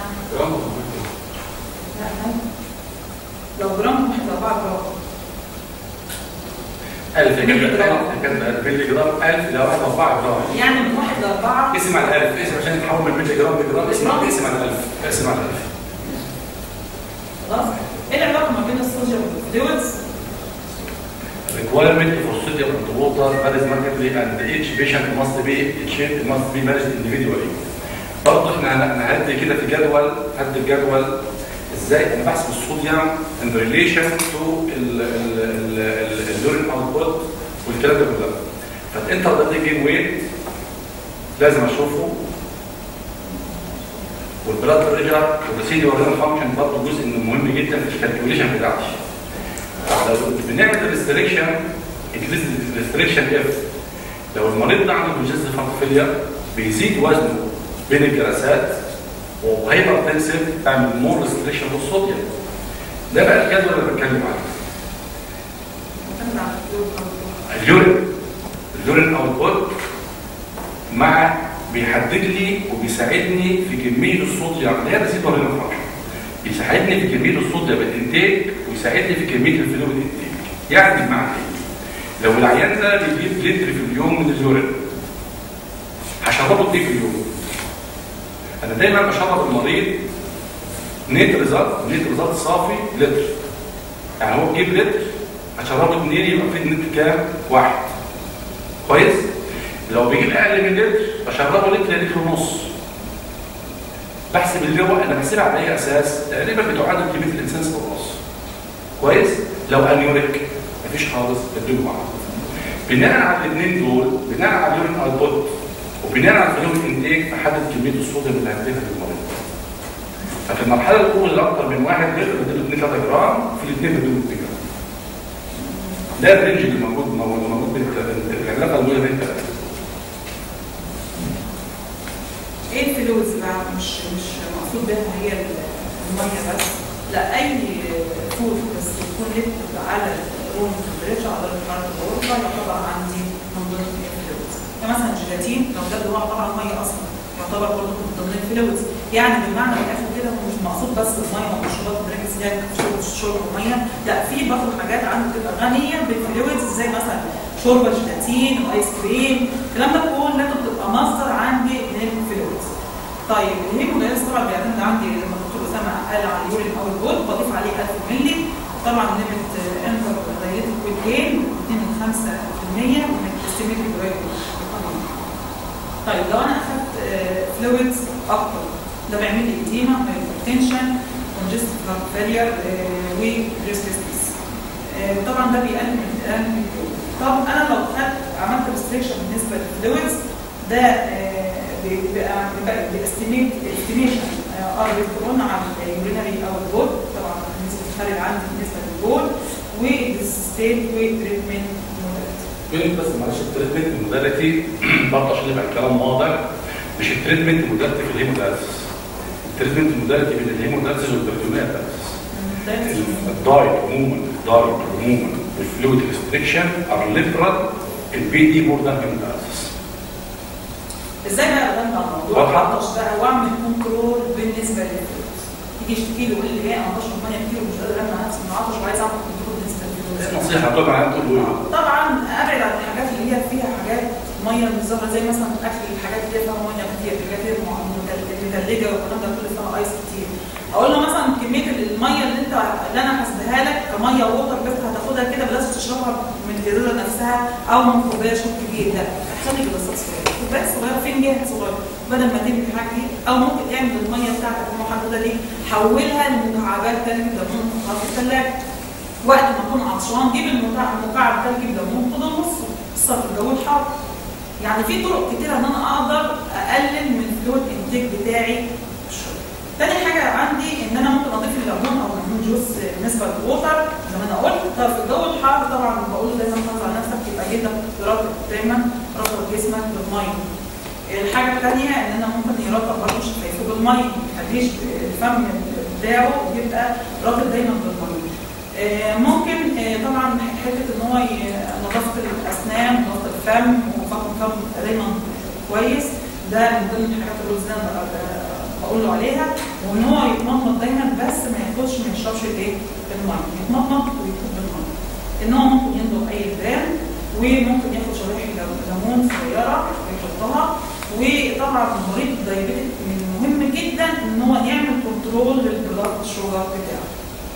طيب الفوسفورس بقى قضيه كبيره آه مش بصراحه هاي آه، هاي سيرم فوسفورس ده عند بيعمل إيه؟ بصراحة يعني موضوع الفوسفورس ده يعني موضوع في منتهى الصعوبة في ان الواحد يعمل control للدرس في منتهى الصعوبة وصعوبته مركبة حتى في ال diet ال diet اللي حضرتك بتشوف ال diet الغنية بالكالسيوم الغنية بال- غنية بالفوسفورس في نفس الوقت وفي بعض الأحيان بتلاقي غنية كمان بالبوتاسيوم زي ال milk بتلاقي غني بالثلاثة يعني بيبقى الموضوع معقد جدا في حتى في حتى في موضوع في موضوع ال diet لكن هنحاول نعمل touch بالموضوع عشان نشوف هنتصرف فيه إزاي.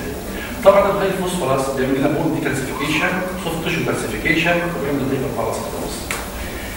ده ال intake بقى بيضرب عندي من 800 ل 1000 مللي جرام أو ممكن احسبها بحسبه ان أنا بديله 17 مللي جرام من كل كيلو جرام من standard weight أو.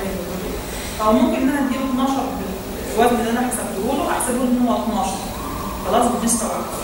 في طريقة بقى اللي هي الموضوع بقى الغسيل دمه عندي. هل بيشيل phosph- phosphorus عندي ولا ما بيشيلش؟ بيشيل حوالي من 500 ل 1000 في مللي جرام في treatment واحدة. في الجلسه الواحده بيشيل حوالي من 500 ل 700 ل 1000 يعني average كام؟ 700 آه، ال binders binders أو ال phosphate binders بيشيل حوالي 50% من داخل الفوسفورس طب إزاي أعمل control؟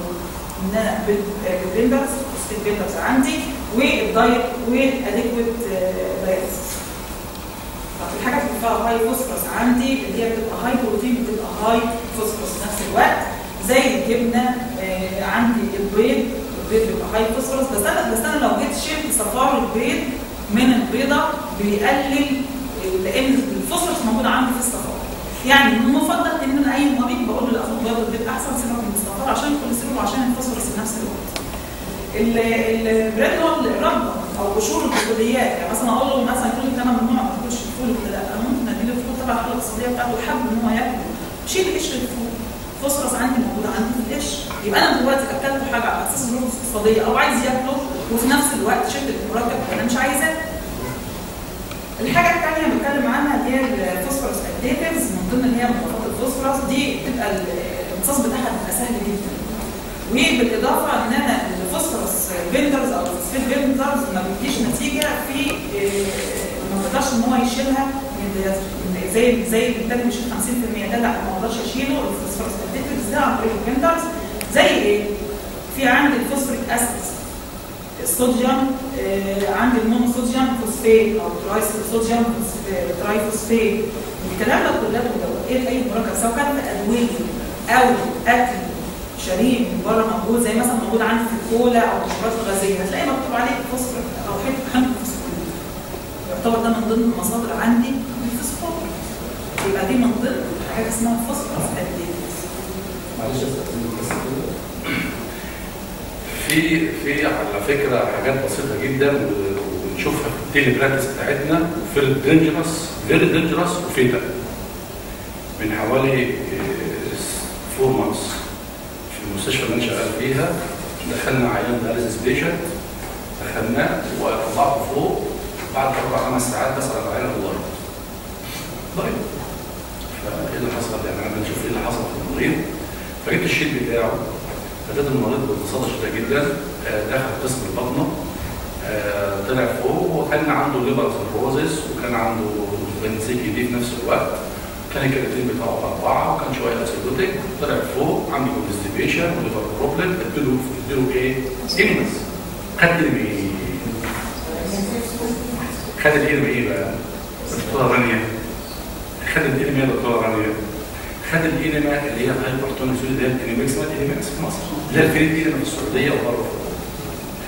في. ال Fleet enema دي عبارة عن إيه؟ عبارة عن hypertonic sodium phosphate enema يعني بالنسبة لموضوع الدكتورة قالت موضوع ال drugs موضوع الأدوية موضوع موضوع ال phosphate hypertonic sodium phosphate enema دي بتعمل phosphate overload phosphate very جرعة كبيرة جدا دخلت المريض rectal عنده constipation حصل لها retention absorbed إيه اللي حصل؟ حصل hyper severe hyperphosphatemia severe hypocalcemia severe hypocalcemia.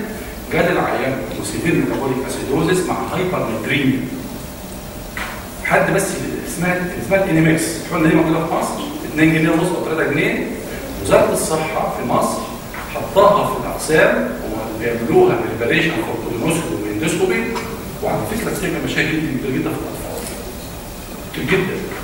أنا سألت يوم حسب أنا عملت report وسألت وسألت الجماعة وسألت الجماعة في مصر how you prepare your patient for colonoscopy أو your for you prepare your patient for IVP قال لك إحنا بنصور العيان عن ادراي بدي العيان one enema بالليل one enema الصبح.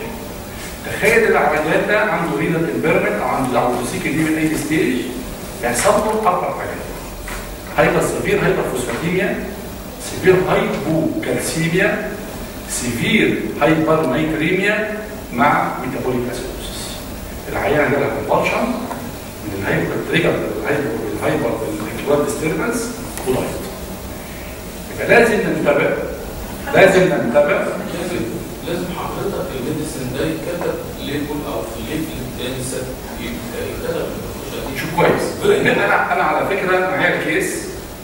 ده اللي انت بتقوله ده I agree with you 100% ليه؟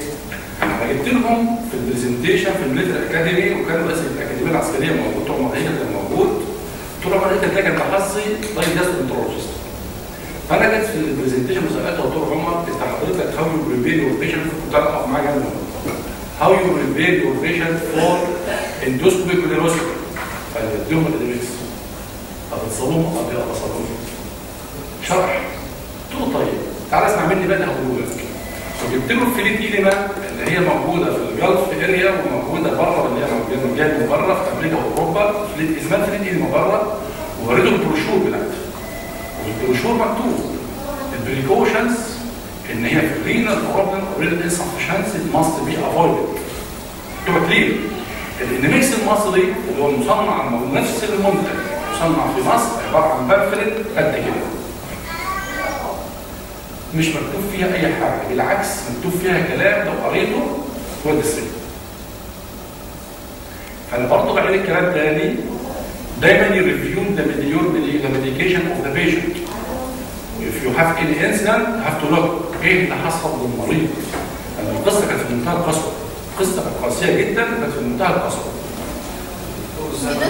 هو يعني لو إحنا كدكاترة يعني كناش حضرنا المحاضرة دي ومش عارفين ال contents ومش مكتوب في النشرة بقية الدكاترة ال nephrologist يعرفوا إزاي؟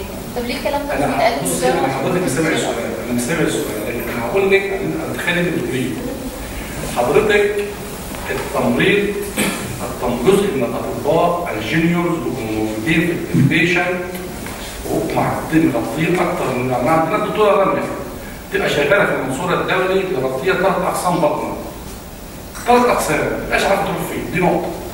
النقطة الثانية إن هو ال administration نفسهم والصيادله بيبقى عندهم المفهوم أنا هدي lactulose enema للمريض enema مش enema. تفرق إيه لك كيلوز من ده المفهوم اللي موجود عندهم. عشان كده أنا بحكي القصة ليه؟ أنا بحكي القصة عشان حضرتك كنت بتمري وأنت موجودة في الدور لو شفت ده تاخديه تعديه وترجعيه حتى لو لو preparation ال endoscopy كل وحدات القيء الدموي اللي موجودة في مصر موجود فيها هذا المنتج. وهو موجود فيها المنتج ده ليه؟ لأنه very cheap ب 2 جنيه ونص enema جاهزه اسمها إنما إيه؟ ريدي إنما. اسمها ريدي إنما. ريدي إنما جاهزه لا هيعبوا ولا هيعملوا ولا بتاع كده بيحطها ويفرقها وخلاص سلام عليكم.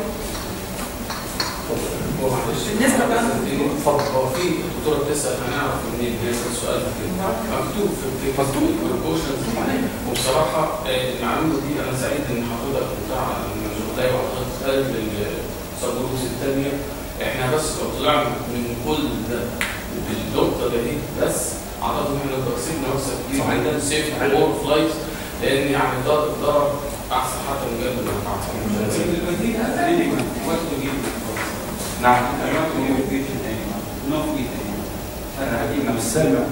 تديله إيه؟ البديل يعني. البديل. شوف حضرتك شوف انت حضرتك إيه الطلب بتاعك؟ انت حضرتك بتعالج hepatic coma يبقى لك جلوز كويس؟ لو حضرتك تعمل preparation preparation endoscopy أو endoscopy اعمل preparation بحاجات ثانية ميه بمية بعدين. فالهدف من ال preparation إيه؟ ال evacuation of GIT to prepare the patient for endoscopy بالميه كنت بتحصل colonoscopy الميه عاديه إحنا كان أهلنا زمان كان أهلنا زمان وإحنا صغيرين كانت الدنيا بور كانوا بيعملوا إيه؟ بس عايزينها في كلمة يعني القصة سهلة كانت القصة سهلة وبسيطة وسيف. بسيطة وسهلة. على فكرة زي ما الدكتور أحمد قال القصة دي ممكن تظهر لك بسيطة. القصة مش بسيطة. خش خش اقسام الاشعه وخش اقسام القيء الدموي وهتشوف أنا على فكره أنا طبعا رجعت عملت عملت review للقصة كلها على النت وشفت ال catastrophes اللي بتحصل خاصة في الاطفال اتفضل. Under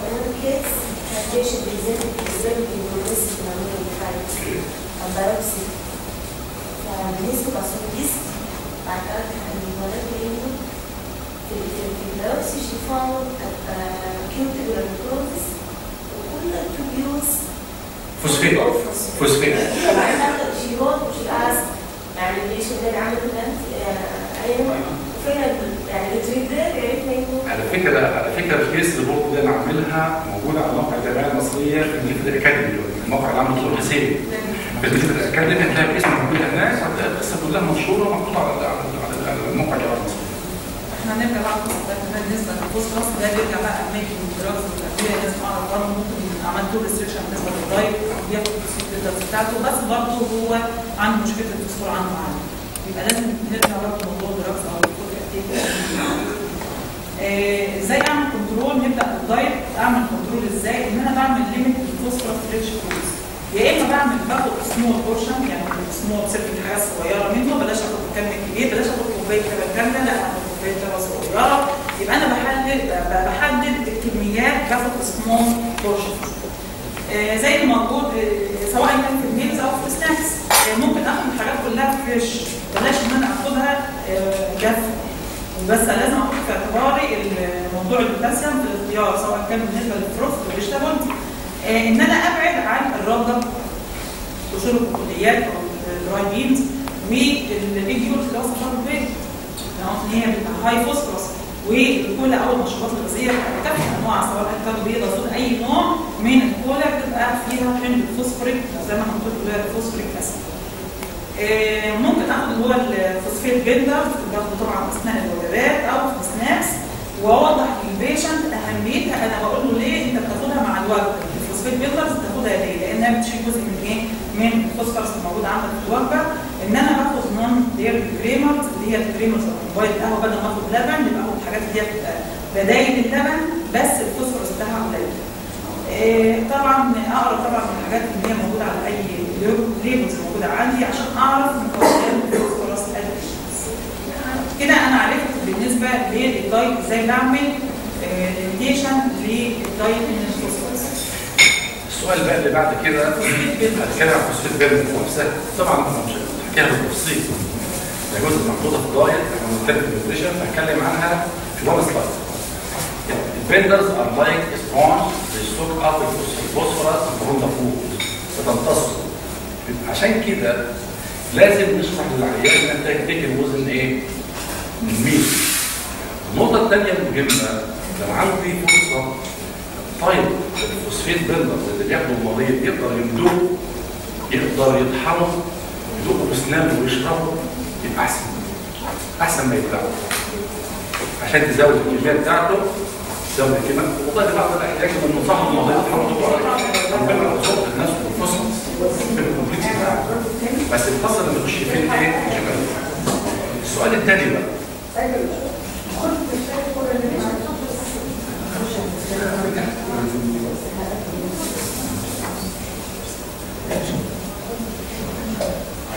في عندنا من ال types of phosphate binder كالسيوم عايزين بقى السؤال نعرف.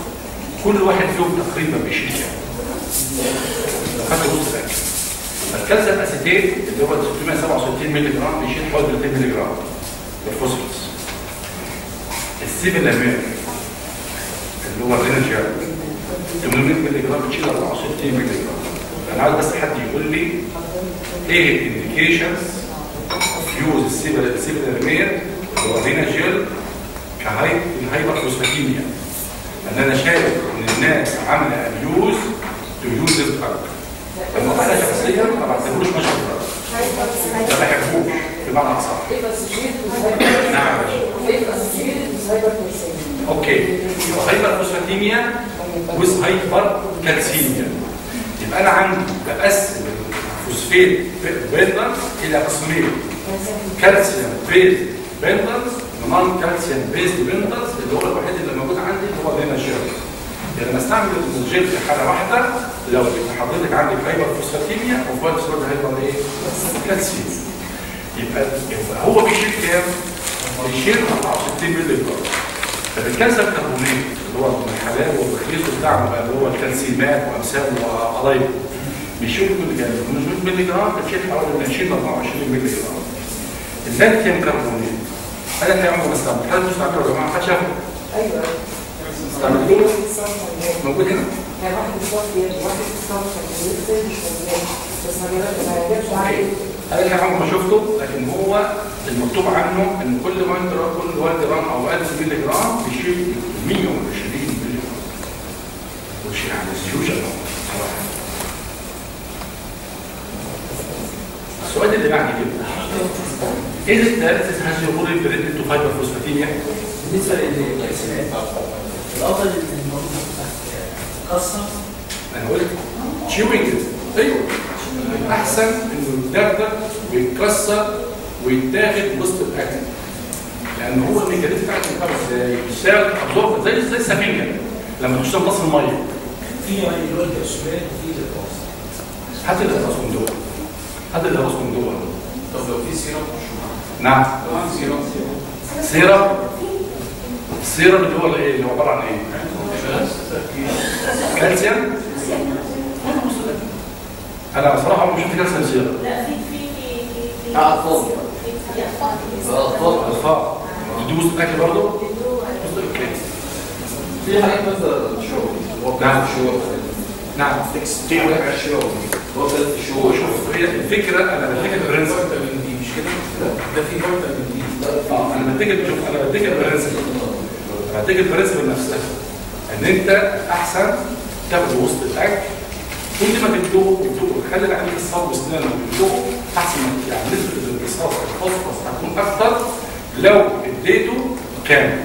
لأن ال time بتاع ال exposure بين الاثنين هيبقى فرق كويس؟ طيب. الفكرة بقى هل ال dialysis له role في ال hyperphosphatemia ولا لأ؟ له طبعا له عشان كده لو أنتوا فاكرين ال study اللي قلته ال daily hemodialysis اللي 6 times بال week حسنوا من إيه؟ الهايبرفوسفاتيميا طب نشوف الجايد لاينز Among dialysis patient with resistant hyperphosphatemia, suggest increasing the phosphate removal by hemodialysis. Among patient with refractory hyperphosphatemia, nocturnal hemodialysis is an option among those who are willing to accept from accept this form of dialysis. يعني حتى في بعض الأحيان بنزود الريت بتاع الدياليسيس ونزود التايم عشان نعالج ال hyperphosphatemia. امبارح في أحد الزملاء سألني سؤال عن. ال aluminum hydroxide حضرتك طبعا استعملته اللي هو الدواء عشان اللي هو بيتاخد عشان ال hyperphosphatemia. أنا شخصيا بمشي على ال evidence base وامشي على المكتوب وبستعمله في حالات لما يكون severe for five days maximum one week limited control investigation. فسمعت حضرتك عنده حد يستعمله بطريقة ثانية غير كده؟ في ممكن الماكسيمم أسبوعين إلى أربع اسابيع يعني في ناس تقول لك هو موجود في ناس كاتبه ده ممكن يستمر أربع اسابيع حد عنده رأي ثاني في الكلام ده؟ طيب يا رجال دكتور عندي كتير اسود شوف. شوف. دكتور عين شمس قالوا الماكسيمم ممكن لغاية 10 10 آه 10 أيام. 10 هو قال البيضه اللي ما استخدموش خالص لأن المصريين متعودين أي دواء بياخدوا استراحة عليه. كان أصل أنا سمعت إمبارح كلام ده أنا إمبارح سمعت كلام غريب جدا وإحنا المفروض لما بنيجي نتعلم حاجة ونشوف حاجة معلش إحنا ممكن نقعد نتكلم مع بعض ونقول لك كلام غريب جدا أنا بقول كلام غريب. فأنت راجل برضه راجل ما انتش صغير راجل عاقل تبقى تسمع الكلام بتاعي وتعمل review تطلع الانترنت وتشوف هل الكلام اللي أنا بقوله ده ماشي على evidence base مش ماشي على evidence base ما ينفعش. ما ينفعش أي حد يقول كلمة تتسمع وتتنفذ لازم أأكد الكلام وأعمل confirmation على الكلام اللي بسمعه. هل أنا سمعت امبارح حد حد قال لي امبارح إن بنستعمله كل ثلاث شهور ولا له الكلام ده منين؟ قال لي والله فلان اللي قال لي له فلان قال لك فلان ما قالكش. الكلام ده كله ما ينفعش أنت تطلع تطلع النهارده على النت تشوف ال evidence base قال في ال aluminum hydroxide قلت له على فكرة عشان كده أنا كنت جاي وعمري ما كنت بتخيل إن في دماغي إن أنا أشوف على حالة aluminum overdose في مصر الأسبوع اللي فات مش احسن حاجة. في كتير هو في نقطة كمان حضرتك. إن هو ما بيبقاش لوحده. يبقى معاه مغنيسيوم بس كده مثلا. في مغنيسيوم أيضا تاني كويس. فعرض العين برضه هذا المغنيسيوم موجود بقول لك ما بقول لحضراتكم إيه لازم ننتبه لازم ننتبه في التعامل إن إحنا لما بنيجي نتعامل مع الرقص أو بنتعامل مع أيديا جديده لما بتتقال لك بطريقة جديده ما تاخدش الكلام جرانتي أو كونفيرمنت لما تشوف الايفيد أو أنا الايفيد أنا جبت لك كلام حالا قمت جايب لك بتاعه. خلاص. خلاص. والميوكوجين لحد من زمان أستاذ ذكر تقريبا في حاجة اسمها انستيك حاجة زي كده بالفين برضه. يعني حضرتك تلاقي دواء كذا حاجة فيه. أنا هتصدق أنا بحاول ما أعرفش حاجات أصلا. عشان ابقى بنعمل والله العظيم أنا بحاول من نفسي من نفسي كده ابقى أنا من أساس اتفضل. بالنسبة للحاجتين treatment of إيه؟ treatment hemodialysis of hyperphosphatemia زي أيوه. في surface area معين لل dialyzer طيب نفس السؤال ده. طبعا امبارح هو طبعا كل ال studies اللي بتتعامل مع ال hyperphosphatemia دايما ال first hour ذا بيست أور فور ريموفال دايما الفيرست أور دايما ال first hour هي البيست أور فور ريموفال طبعا أنت كل ما بتحسن كل ما بتحسن ال Kt over V وال URR أنت بتحسن حاجات كتير جدا من ضمنها من ضمنها الفوسفورس لكن surface area أو تقول لي high flux أو low flux أو high performance there is no difference. okay ده بلاش إزاي بعمل بقى فوسفورس بالانس اللي إحنا اتكلمنا فيها اللي هي طبعا ديلر ودايت الفوسفورس انتاج زي ما إحنا قلنا التوفير بتبقى ماكسيموم عندي فوسفور مثلا تقريبا 1000 ده في اليوم الواحد. على مدار الأسبوع بيبقى 700 مللي جرام في الويك. فالكرسانة المصاصة أو السكر الجسم بياخد منه كام حوالي 60% يعني 600 مللي جرام في الدي يعني بيوصلوا في الأسبوع ل 4200 مللي جرام في اليوم. البيلدرز بيشيل 50% من الفوسفورس اللي اللي بيستخدم حوالي يبقى كده شال كام؟ 300 مدار الأسبوع آه، خدوا 10 حبايات في ده في اليوم. في قصدي في الأسبوع وصل عندي إن هو شارب من 2100 مللي جرام في الويك. طيب. عندي الريموفر طبعا واحد بيغسل ثلاث مرات في الأسبوع. مرة إحنا قلنا إن هو بشيل بشيل أو جلسه بتشيل من حوالي 500000 يعني. في المتوسط حوالي 700 يبقى 700 فات يبقى 2100 يبقى أنا كده في ال week ال phosphorus balance وصلت ليه ولا لأ؟ وصلت ال diet ال daily على مدار الأسبوع 4200 binders شل منهم 2100 الغسيل شل 2100 يبقى أنا وصلت لحد إيه؟ ال balance. الكالسيوم. عندي في stage واحد لأربعة ده بديله تبع علاج الكتاب بيبقى فيه حوالي من 1200 ل 1500 آه، طب بيحتاج منه في بعض الحالات مني فيتامين دي سي ستيج سي دي ستيج 5 الهيمودايتس عندي. دايما براعي إن أنا ما زدتش ال- الديك بتاعي عن 2 جرام بير ده بيشمل الكالسيوم بيت بيلدرز. آه، ممكن ياخد activated vitamin D وأراعي إن أنا مهم جدا إن أنا أعمل control لل PTH طب الهاي- الهايبر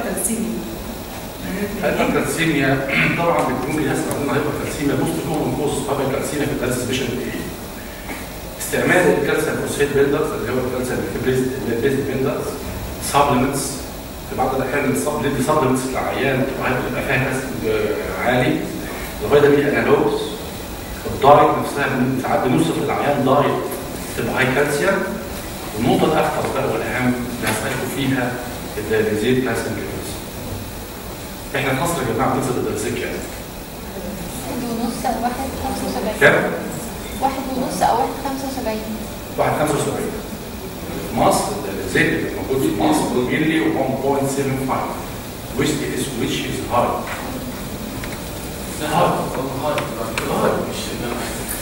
كنا زمان أنا كنت زمان الايديتا سنة 88 ايديتا 88 طلع أحد الزملاء المصريين فرحان جدا وقال لك إزاي الهايبر بارا مش موجودة في مصر؟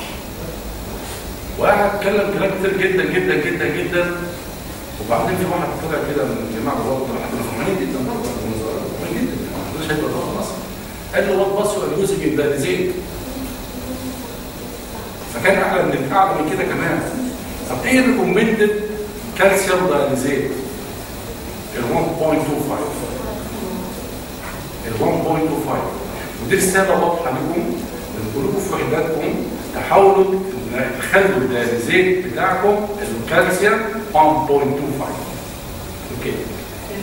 طبعا الدايت عند لينا diet بتدينا حوالي 500 800 مللي جرام في اليوم.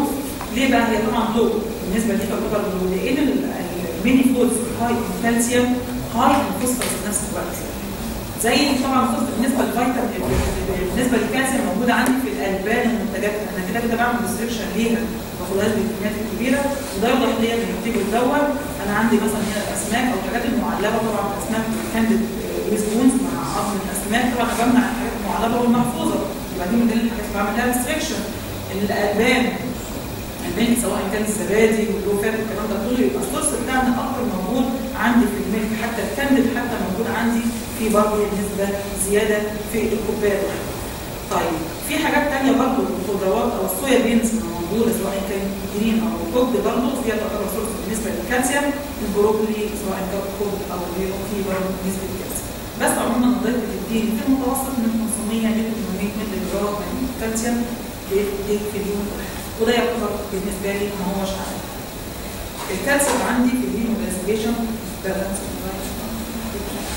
بالذات في كالسيوم انتيك كالسيوم سبلمنت طبعا بالبالانس بقى اللي زي الكالسيوم ليفل والفيتامين سي.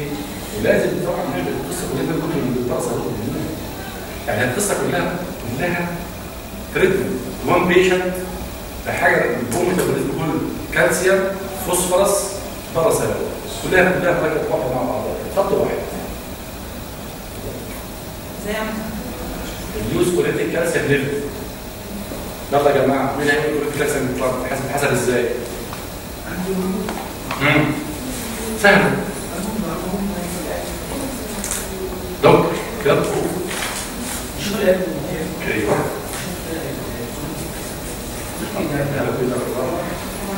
الالبومين ماينس 4 ماينس الالبومين هو البيزنس بتاع 4 ماينس الالبومين والتضاد 0.08 بالإضافة للمزيد الكالسيوم اللي طبعا ده ده موضوع مهم جدا إن ممكن تلاقي كالسيوم 8 ونص وتبص تلاقي عليه 9 ونص وتلاقي نورمال تلاقي من 2.1 تحسبها تلاقيها عامله هايبر كالسيوم يعني. معلش وزارة بقى عشان فيتامين دي اللي عيان الفورم هل فيتامين دي مع شو شوف حضرتك. شوف حضرتك. إحنا في مصر في مصر. انت بقالك كام سنة بره؟ كده عمر طيب. إحنا في مصر عندنا مشكلة كبيرة جدا. جدا. أنا عملت قريب سيرفي أنا عندي حوالي 165 مريض في الدرس الجيني هنا في المنصوره فكده عملت سيرفي البي تي اتش ما قدرتش اخترت 80 مريض اللي هم بقالهم فترة طويلة على وسيله التابلت خدتها تايم ديوريشن 80 مريض. 72 مريض إيه دايناميك كونديسيس 72 مريض من 80 إيه دايناميك إيه دايناميك ليه؟ لأن هو مفهوم مفهوم طبيب الكلى أنا هتكلم على مستوى الصحة. مفهوم طبيب الكلى في وزارة الصحة ثلاث حاجات أول المريض ما يجيب عندك كرياتين فوق above 1.5 تعمل حد يوصف إيه؟ كالسيمات ولا ألف. يوصف الكالسيمات ولا ألف. فلو أنا ألفا يوز الالفا كالسيتريول اليوزنج وذ هازardous without controlling the PTH أو without itching the PTH على مستوى على المستوى القومي على مستوى الخطاب على المستوى القومي في مصر. فيري رير إنك تلاقي طبيب يقيس البي اتش كويس؟ دي نقطة.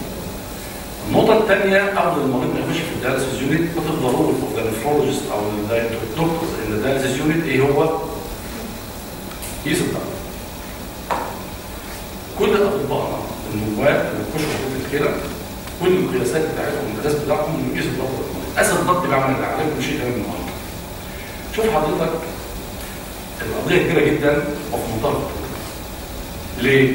دخل فيها حاجات معقدة ومركبة في بعض طبعا إحنا بنشتغل بره بتبقى الدماغ بتختلف في التفكير. ان أنا لما أشتغل بره فجيت دكتور سعودي. سعودي. قال الدكتور ليش يستعمل دول ألفا؟ ألفا كالسيترول ده في مصنع عندكم هيعملوا مهمات السي ليش ما تستعمل كالترول ألفا؟ كالسيترول جاهز. عشان الدفع وفر للعين ده بإذن الله. فانت التفكير بتاع الناس بيتوقف هنا في مصر على حاجات كتير جدا من أهمها الكوست لكن مش الكوست هو المشكلة لكن الأهم ده كلته انها بقى في concept مترسب وموجود ومفهوم في منتهى يعني أنا عايز أفهم الكلمة يعني.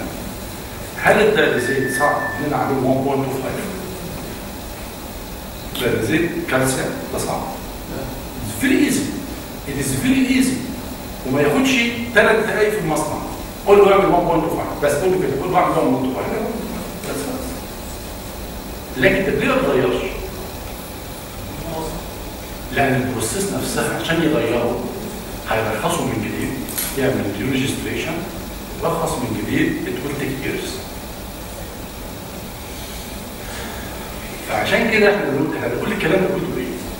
عشان نوعي الناس ونركز الناس والناس كلها لما بتتحرك في one direction الأمور تتصلح لازم كلنا نكون مقتنعين الأمور لازم تتصلح لما كلنا هنتحرك في one direction مش ناس تتحرك في اتجاه وناس تانية في اتجاه against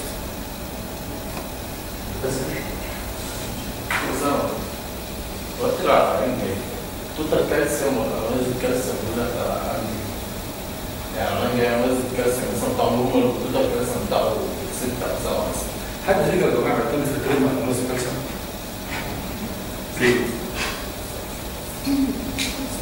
أنا أنا معاك أنا ما بستعملوش لأن العينين اللي هنا فيها دايما دايما اسكوتك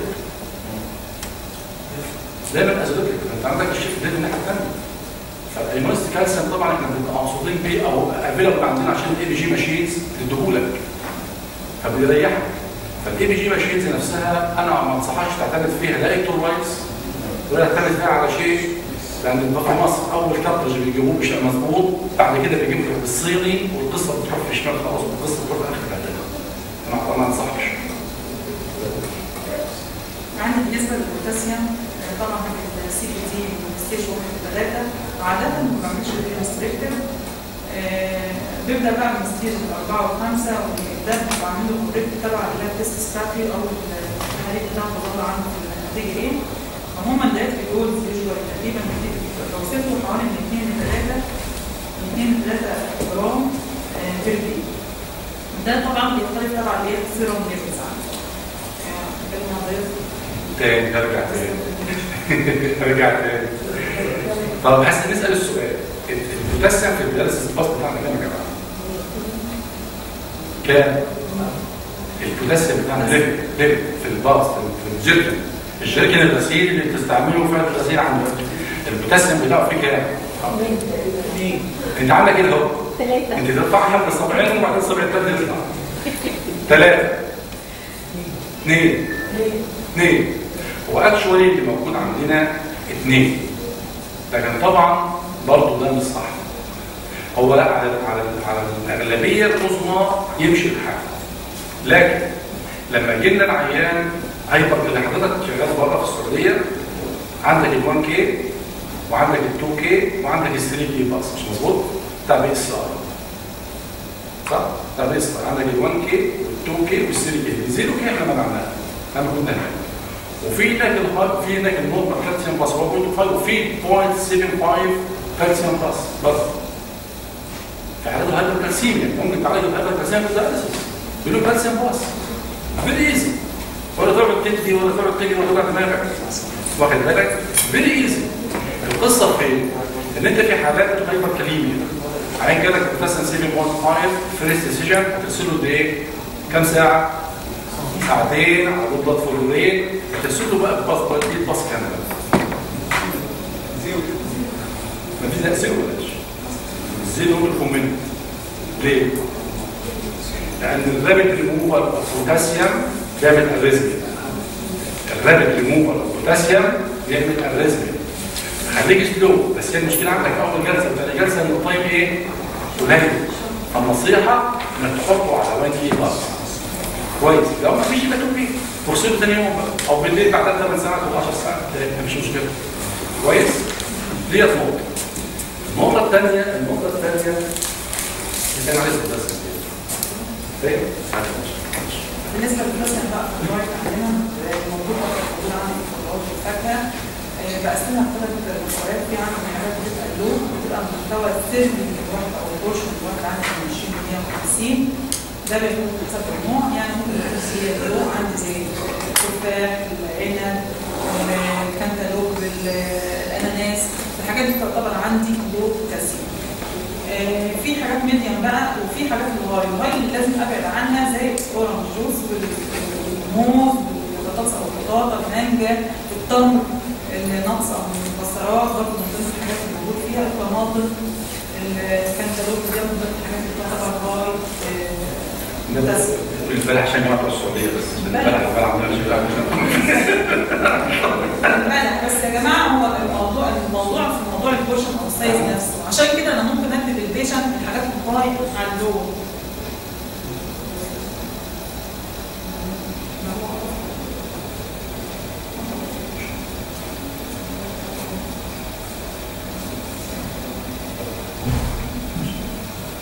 آه، ال portion نفسه عندي أو ال size ده من الحاجات المهمه لازم اعتمد عليها مفيش حاجة اسمها إن أنا أقول ممنوع البرتقال ممنوع ممنوع ممنوع ممنوع أنا ممكن أعمل له mix ما بين ده وما بين ده زي فاكهة أو أي حاجة. أنا هات حاجات قليلة قليلة على الحاجات العاليه على الحاجات المتوسطة. لأن دايما بيبقى الممنوع مرغوب دي بيرجع لاهميه إن أنا لازم أعمل تنوع بقى متاح لي ان موجود في المكان. ال- الحاجة الثانية إن أنا طبعا واحد يقول لك مثلا أنا ما بضيفش ملح على الأكل بتاعي. بس أنا بجيب ملح دسم من قلب السرديه واضيفه حتى بالاكل بتاعي لا أنا اوضح له اهميه الملح ده أصلا موجود وهو فيه بوتاسيوم عالي جدا. يبقى أنا أبعد عنه. آه الألبان.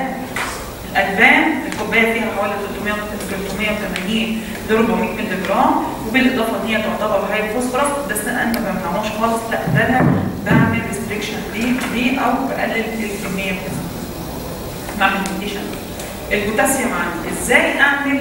آه، يعني أقلل محتوى الخضروات والحاجة دي من الفاكهه اللي ممكن آه، موجودة عندي تعتبر high بوتاسيوم في طريقة يعني مثلا الخضروات اللي لونها أخضر غامق ده تعتبر high بوتاسيوم يعني عشان كده يقول له حاجات فيها خضرها فاتح أو مثلا ملونة زي فلفل فاتح الكلام ده كله.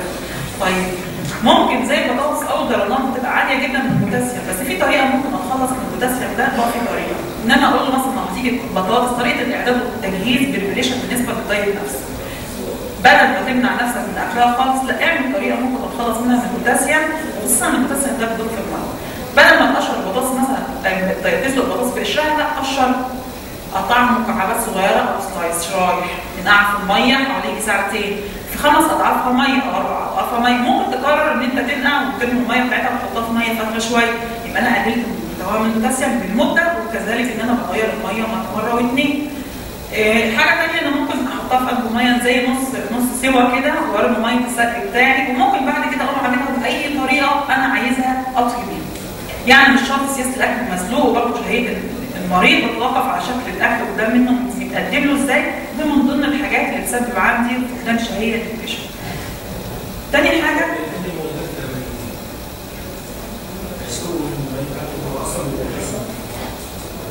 فيها الزنك بيبقى موجود عندي فين أصلا؟ مش شرط الكلوروفيل لأنه في حاجات موجودة ممكن اخد بس لونها اخضر فاتح. ممكن أدخل قلب الخاص ده فيه زنك أساسا. عاوز زنك عاوز زنك ولا مش عاوز؟ عاوزين هو كده. عاوز زنك؟ استنى بس. استنى بس. لا لا استنى. عاوز زنك زنك. أصلا في في في التكوين الخليه عشان توصل لها الريشن سواء في الجزئيه بتاع الكيستيك سواء في الجير سواء في الزنك والمغنيسيوم المغنيسيوم أيوه زيت عارف الزنك والمغنيسيوم بيعملوا إيه؟ والمغنيسيوم بيعملوا والزنك بيعملوا إيه؟ عندها سنوات ده مهم جدا. أنت بتتكلم عن بتتكلم كلام غير على على الناس الحقيقيين بتتكلم عن تطبيقات الناس الحقيقيين لكن المغنيسيوم الطبيعي والزنك الطبيعي على ده بيعمل إيه؟ بيعمل إيه؟ بيعمل هيبوكسيس عشان كده مرضى البريتونيا الداياليسيس معظمهم عندهم إيه برنامج نفس المشكلة اللي موجودة في الداياليزيت بتاع البريتونيا الداياليسيس موجوده خلاص موجوده عند المرضى موجودة في موجودة في البيبي في الز- في برضه في الزنك بس والمغنيسيوم برضه الاكياس بتاعتهم الطيارة مش عارفين نغير نغير الكونسنتريت اللي موجود فيهم ومعظمهم عندهم كده برنامج واخد بالك؟ ماشي مش دعوه بالزنك ناخد بالنا من عندي. طبعا في عندي فيتامينات اللي هي بتدور في المية دي بوعيه طبعا بالنسبة لمريض السيل الدموي إن هو يوم ما ياخدها ياخدها بعد ما يطلع من الجلسة ما ياخدهاش منها عشان ما تطلعش أثناء الايه؟ آه، آه، الفيتامين سي فيتامين سي معظم الناس بتكتبوا فيتامين سي ما يزيدش أهم حاجة إن هو ما يزيدش عندي من 60 ل 100 مللي جرام ليه أنا بعمل limitation ليه؟ لأن الفيتامين سي دوت بيزود امتصاص الأوكسالات عندي بي- بيعمل calcification بالنسبة لل soft tissues وخصوصا مكون بقى عن اللي هي ال kidney stones مرضى ال CKD.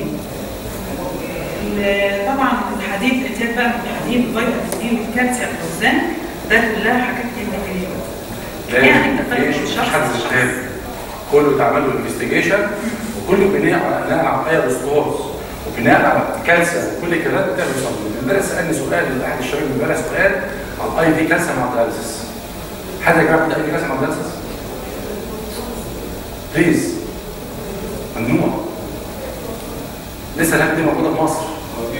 يا عماد يا عماد انت كل شيء يا عماد بتنفي ممنوع كالسيوم مع الدياليسيس ولا لا؟ عشان لا دي بطلت من إمتى؟ بطلت من إمتى؟ بيندم في بتقدر الحقيقة بيندم بص الحقيقة بيندم في ناس كالسيوم شربونات اي في أو دياليسيس بيندم والمريض اذا ما بتاكلوش يمسك فيك. بحس دي برضه من ضمن البوينتس اللي لازم تقعد مع العيان تشرح له شوف هنوصل فين إزاي نوتريشنال حضرتك إيه؟ نعم. إيه؟ الله ينور عليك. يبقى أنت بتدي بس انت بس. يبقى أنت بتدي أنا ما اديتوش بص ده عملت السلبية على كل عيان. أنا عملت السلبية على 105 السلبية كان عندي 80 عيان الكونفليس 50% من العيانين كان بتاعهم كان تحت السبعة. وحوالي كان تقريبا من ربع حوالي 29 كلهم الفريقين بتاعهم تحت المية. فاحنا عن طريق ال- دكتور امير زي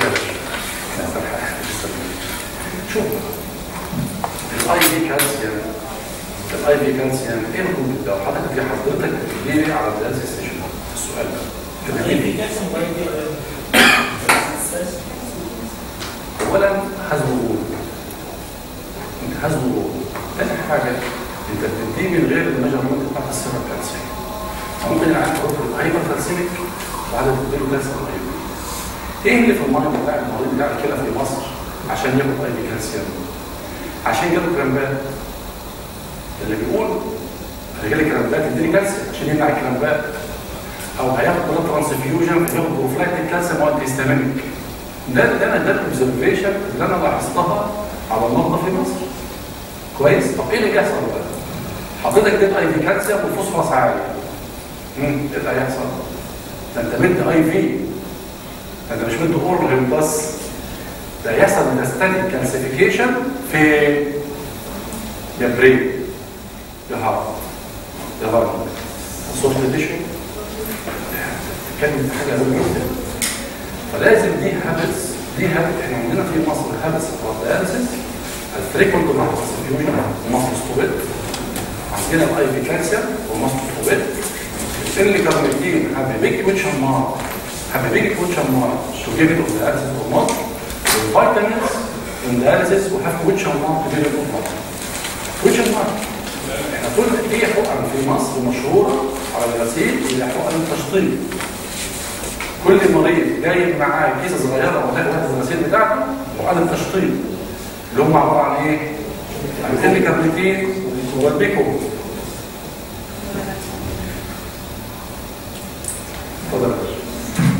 هنتكلم بقى اخر حاجة نتكلم فيها supplementals كذا السبلمنتس أصلا بنستعمله إزاي يا جماعة؟ حد فيكم استعمل سبلمنت قبل كده؟ حد فيكم استعمل سبلمنت المضادات قبل كده؟ آه، اشكر في طبعا آه في طبعا إن الكور سبلمنت عندنا في منه أنواع. في اللي هو الليبرو دايليسيس بيشنت وفي السبلينا في النون دايليسيس بيشنت وفي الانشور وفي منه باودر زي الرصاص وفي منه البروتين وفي الكوكيز وفي البروتين باست يعني في أنواع كتير جدا منه. في برضه منه مخصوصه منه بالسيكلي بيشنت دايليسيس بيشنت وفي منهم حتى البروتين دايليسيس بيشنت فيها سبيشال فورمولاز ده بيتاخد إزاي؟ ده بيتاخده لما أنا بعمل المريض اسسمنت بستعمل المريض اسسمنت في النيوتريشن وببدأ أديله الاورال فيدنج وازود له السناكس وازود له الدايت بتاعته والريسبونس لسه ضعيف فببدأ أديله حاجة اكسترا ال extra ديت بتتاخد إزاي؟ بديله supplement اللي بتبقى عامله زي زي أنواع هتلاقي زي ال can وفيها الخضره وفيها وفيها وفيها وفيها. بديها بس لازم قبل ما أديها أعمل حاجة مهمة جدا. قبل ما اديها لازم أشوف إيه مكتوب فيها. فوسفورس كام كالسيوم كام كيلو كام عشان ابدا احسب الكلام ده طيب القصة فين؟ القصة بتاعتها إن أنا بدور فيها ساعات بعض الاحيان بتبقى عمرها صعب الصوت بتاعها ساعات بعض الصوت بتاعها غالي تديها إزاي؟ تديها يا إما عن طريق العين عادي اول ما العين ما بيشربش قادر يشرب أحط له كده جديد كلوب أو جاستريك كلوب يقول عن طريق إيه الجاستريك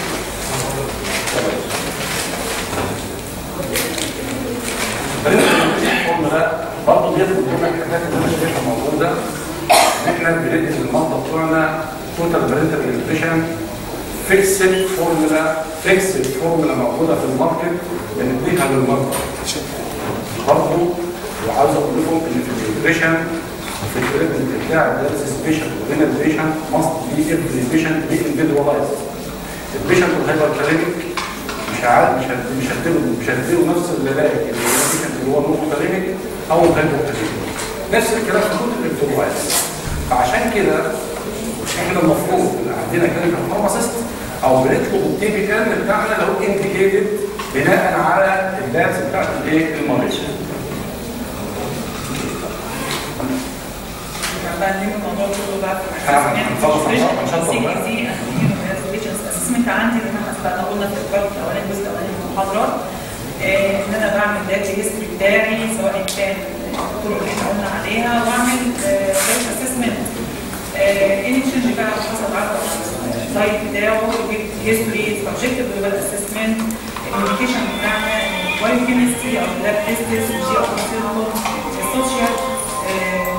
فاكتورز أو العوامل الاجتماعيه بتاعت إيه؟ ده بستخدمه كله في الأسسمنت والستبس بتاعنا بتاعت الميشن كير بروسيس براعيها بالستبس الأربعة فوق. طب أنا حتى أنا عليك الويب إزاي؟ ببدأ بعمل اورال دايت الاورال دايت فين؟ أو نوت سكسسفول ولا أديله اورال دايت بلس اكسترا سنابس ما فيش أقوم ضايف عليه سبلمنت لا ما فيش ببدأ أديله الانجكتيفين وبيت نيو فيدنج ما قدرش فين ببدا أحط له التوتال رينكرال نيوتريشن عشان بقى نقفل نقفل بقى الموضوع. نخش الانسب بقى تاني. إحنا في الأول. إحنا قلنا بالنسبة للدايت سي بي تي إيه اللي اختلاف ما بينه والدايت بتاع الهيمن عندنا إيه ريكوايرز مور كالوريز ولا إيه ريكوايرز مور كالسيوم إيه ريكوايرز ليس بروتين ولا مور نون إيه؟ سي سي سي أنا معاك سي ماشي اللغة الجلوكوز ان هي مدارس الجلوكوز في دايزين كم ملي جرام كم جرام 25 أوكي بمناسبة النقطة دي إن المريض أنصحه مفيش حاجة اسمها أكل مداخل ولا مية ولا الكلام ده كله. أديله حاجات تعوض الكارب أو كربوهيدرات تفقد عندي يعني الوجبة نفسها اللي هياخدها فيها حوالي 25 جرام كارب بيحصل فيه فرق أثناء الايه؟ الفوسفات بيلدر هرمونز بيشيل قد إيه من دايت الفوسفورس؟ 30% ولا 40 ولا 50 ولا 60% من دايت الفوسفورس؟ 50 نغني فلوت ريستريكشن استيميتد أو ابديت ابون امم هات يا باشا الاوت بوت والاوت بوت والديسيز ستيت التريتمنت موداليتي ولا اول فقط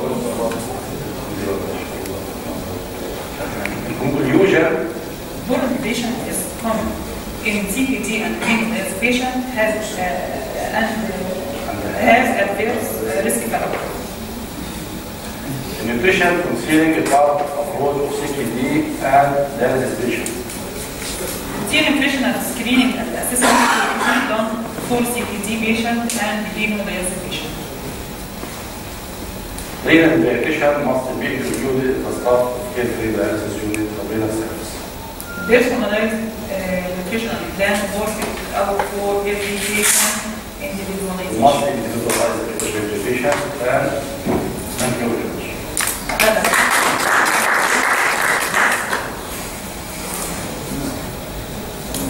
عندكم أسئلة؟ تزوروا ولا؟ أنا ساعتين ونص. لأن ساعتين ونص ساعتين ونص الجزء الثاني. ما شاء الله.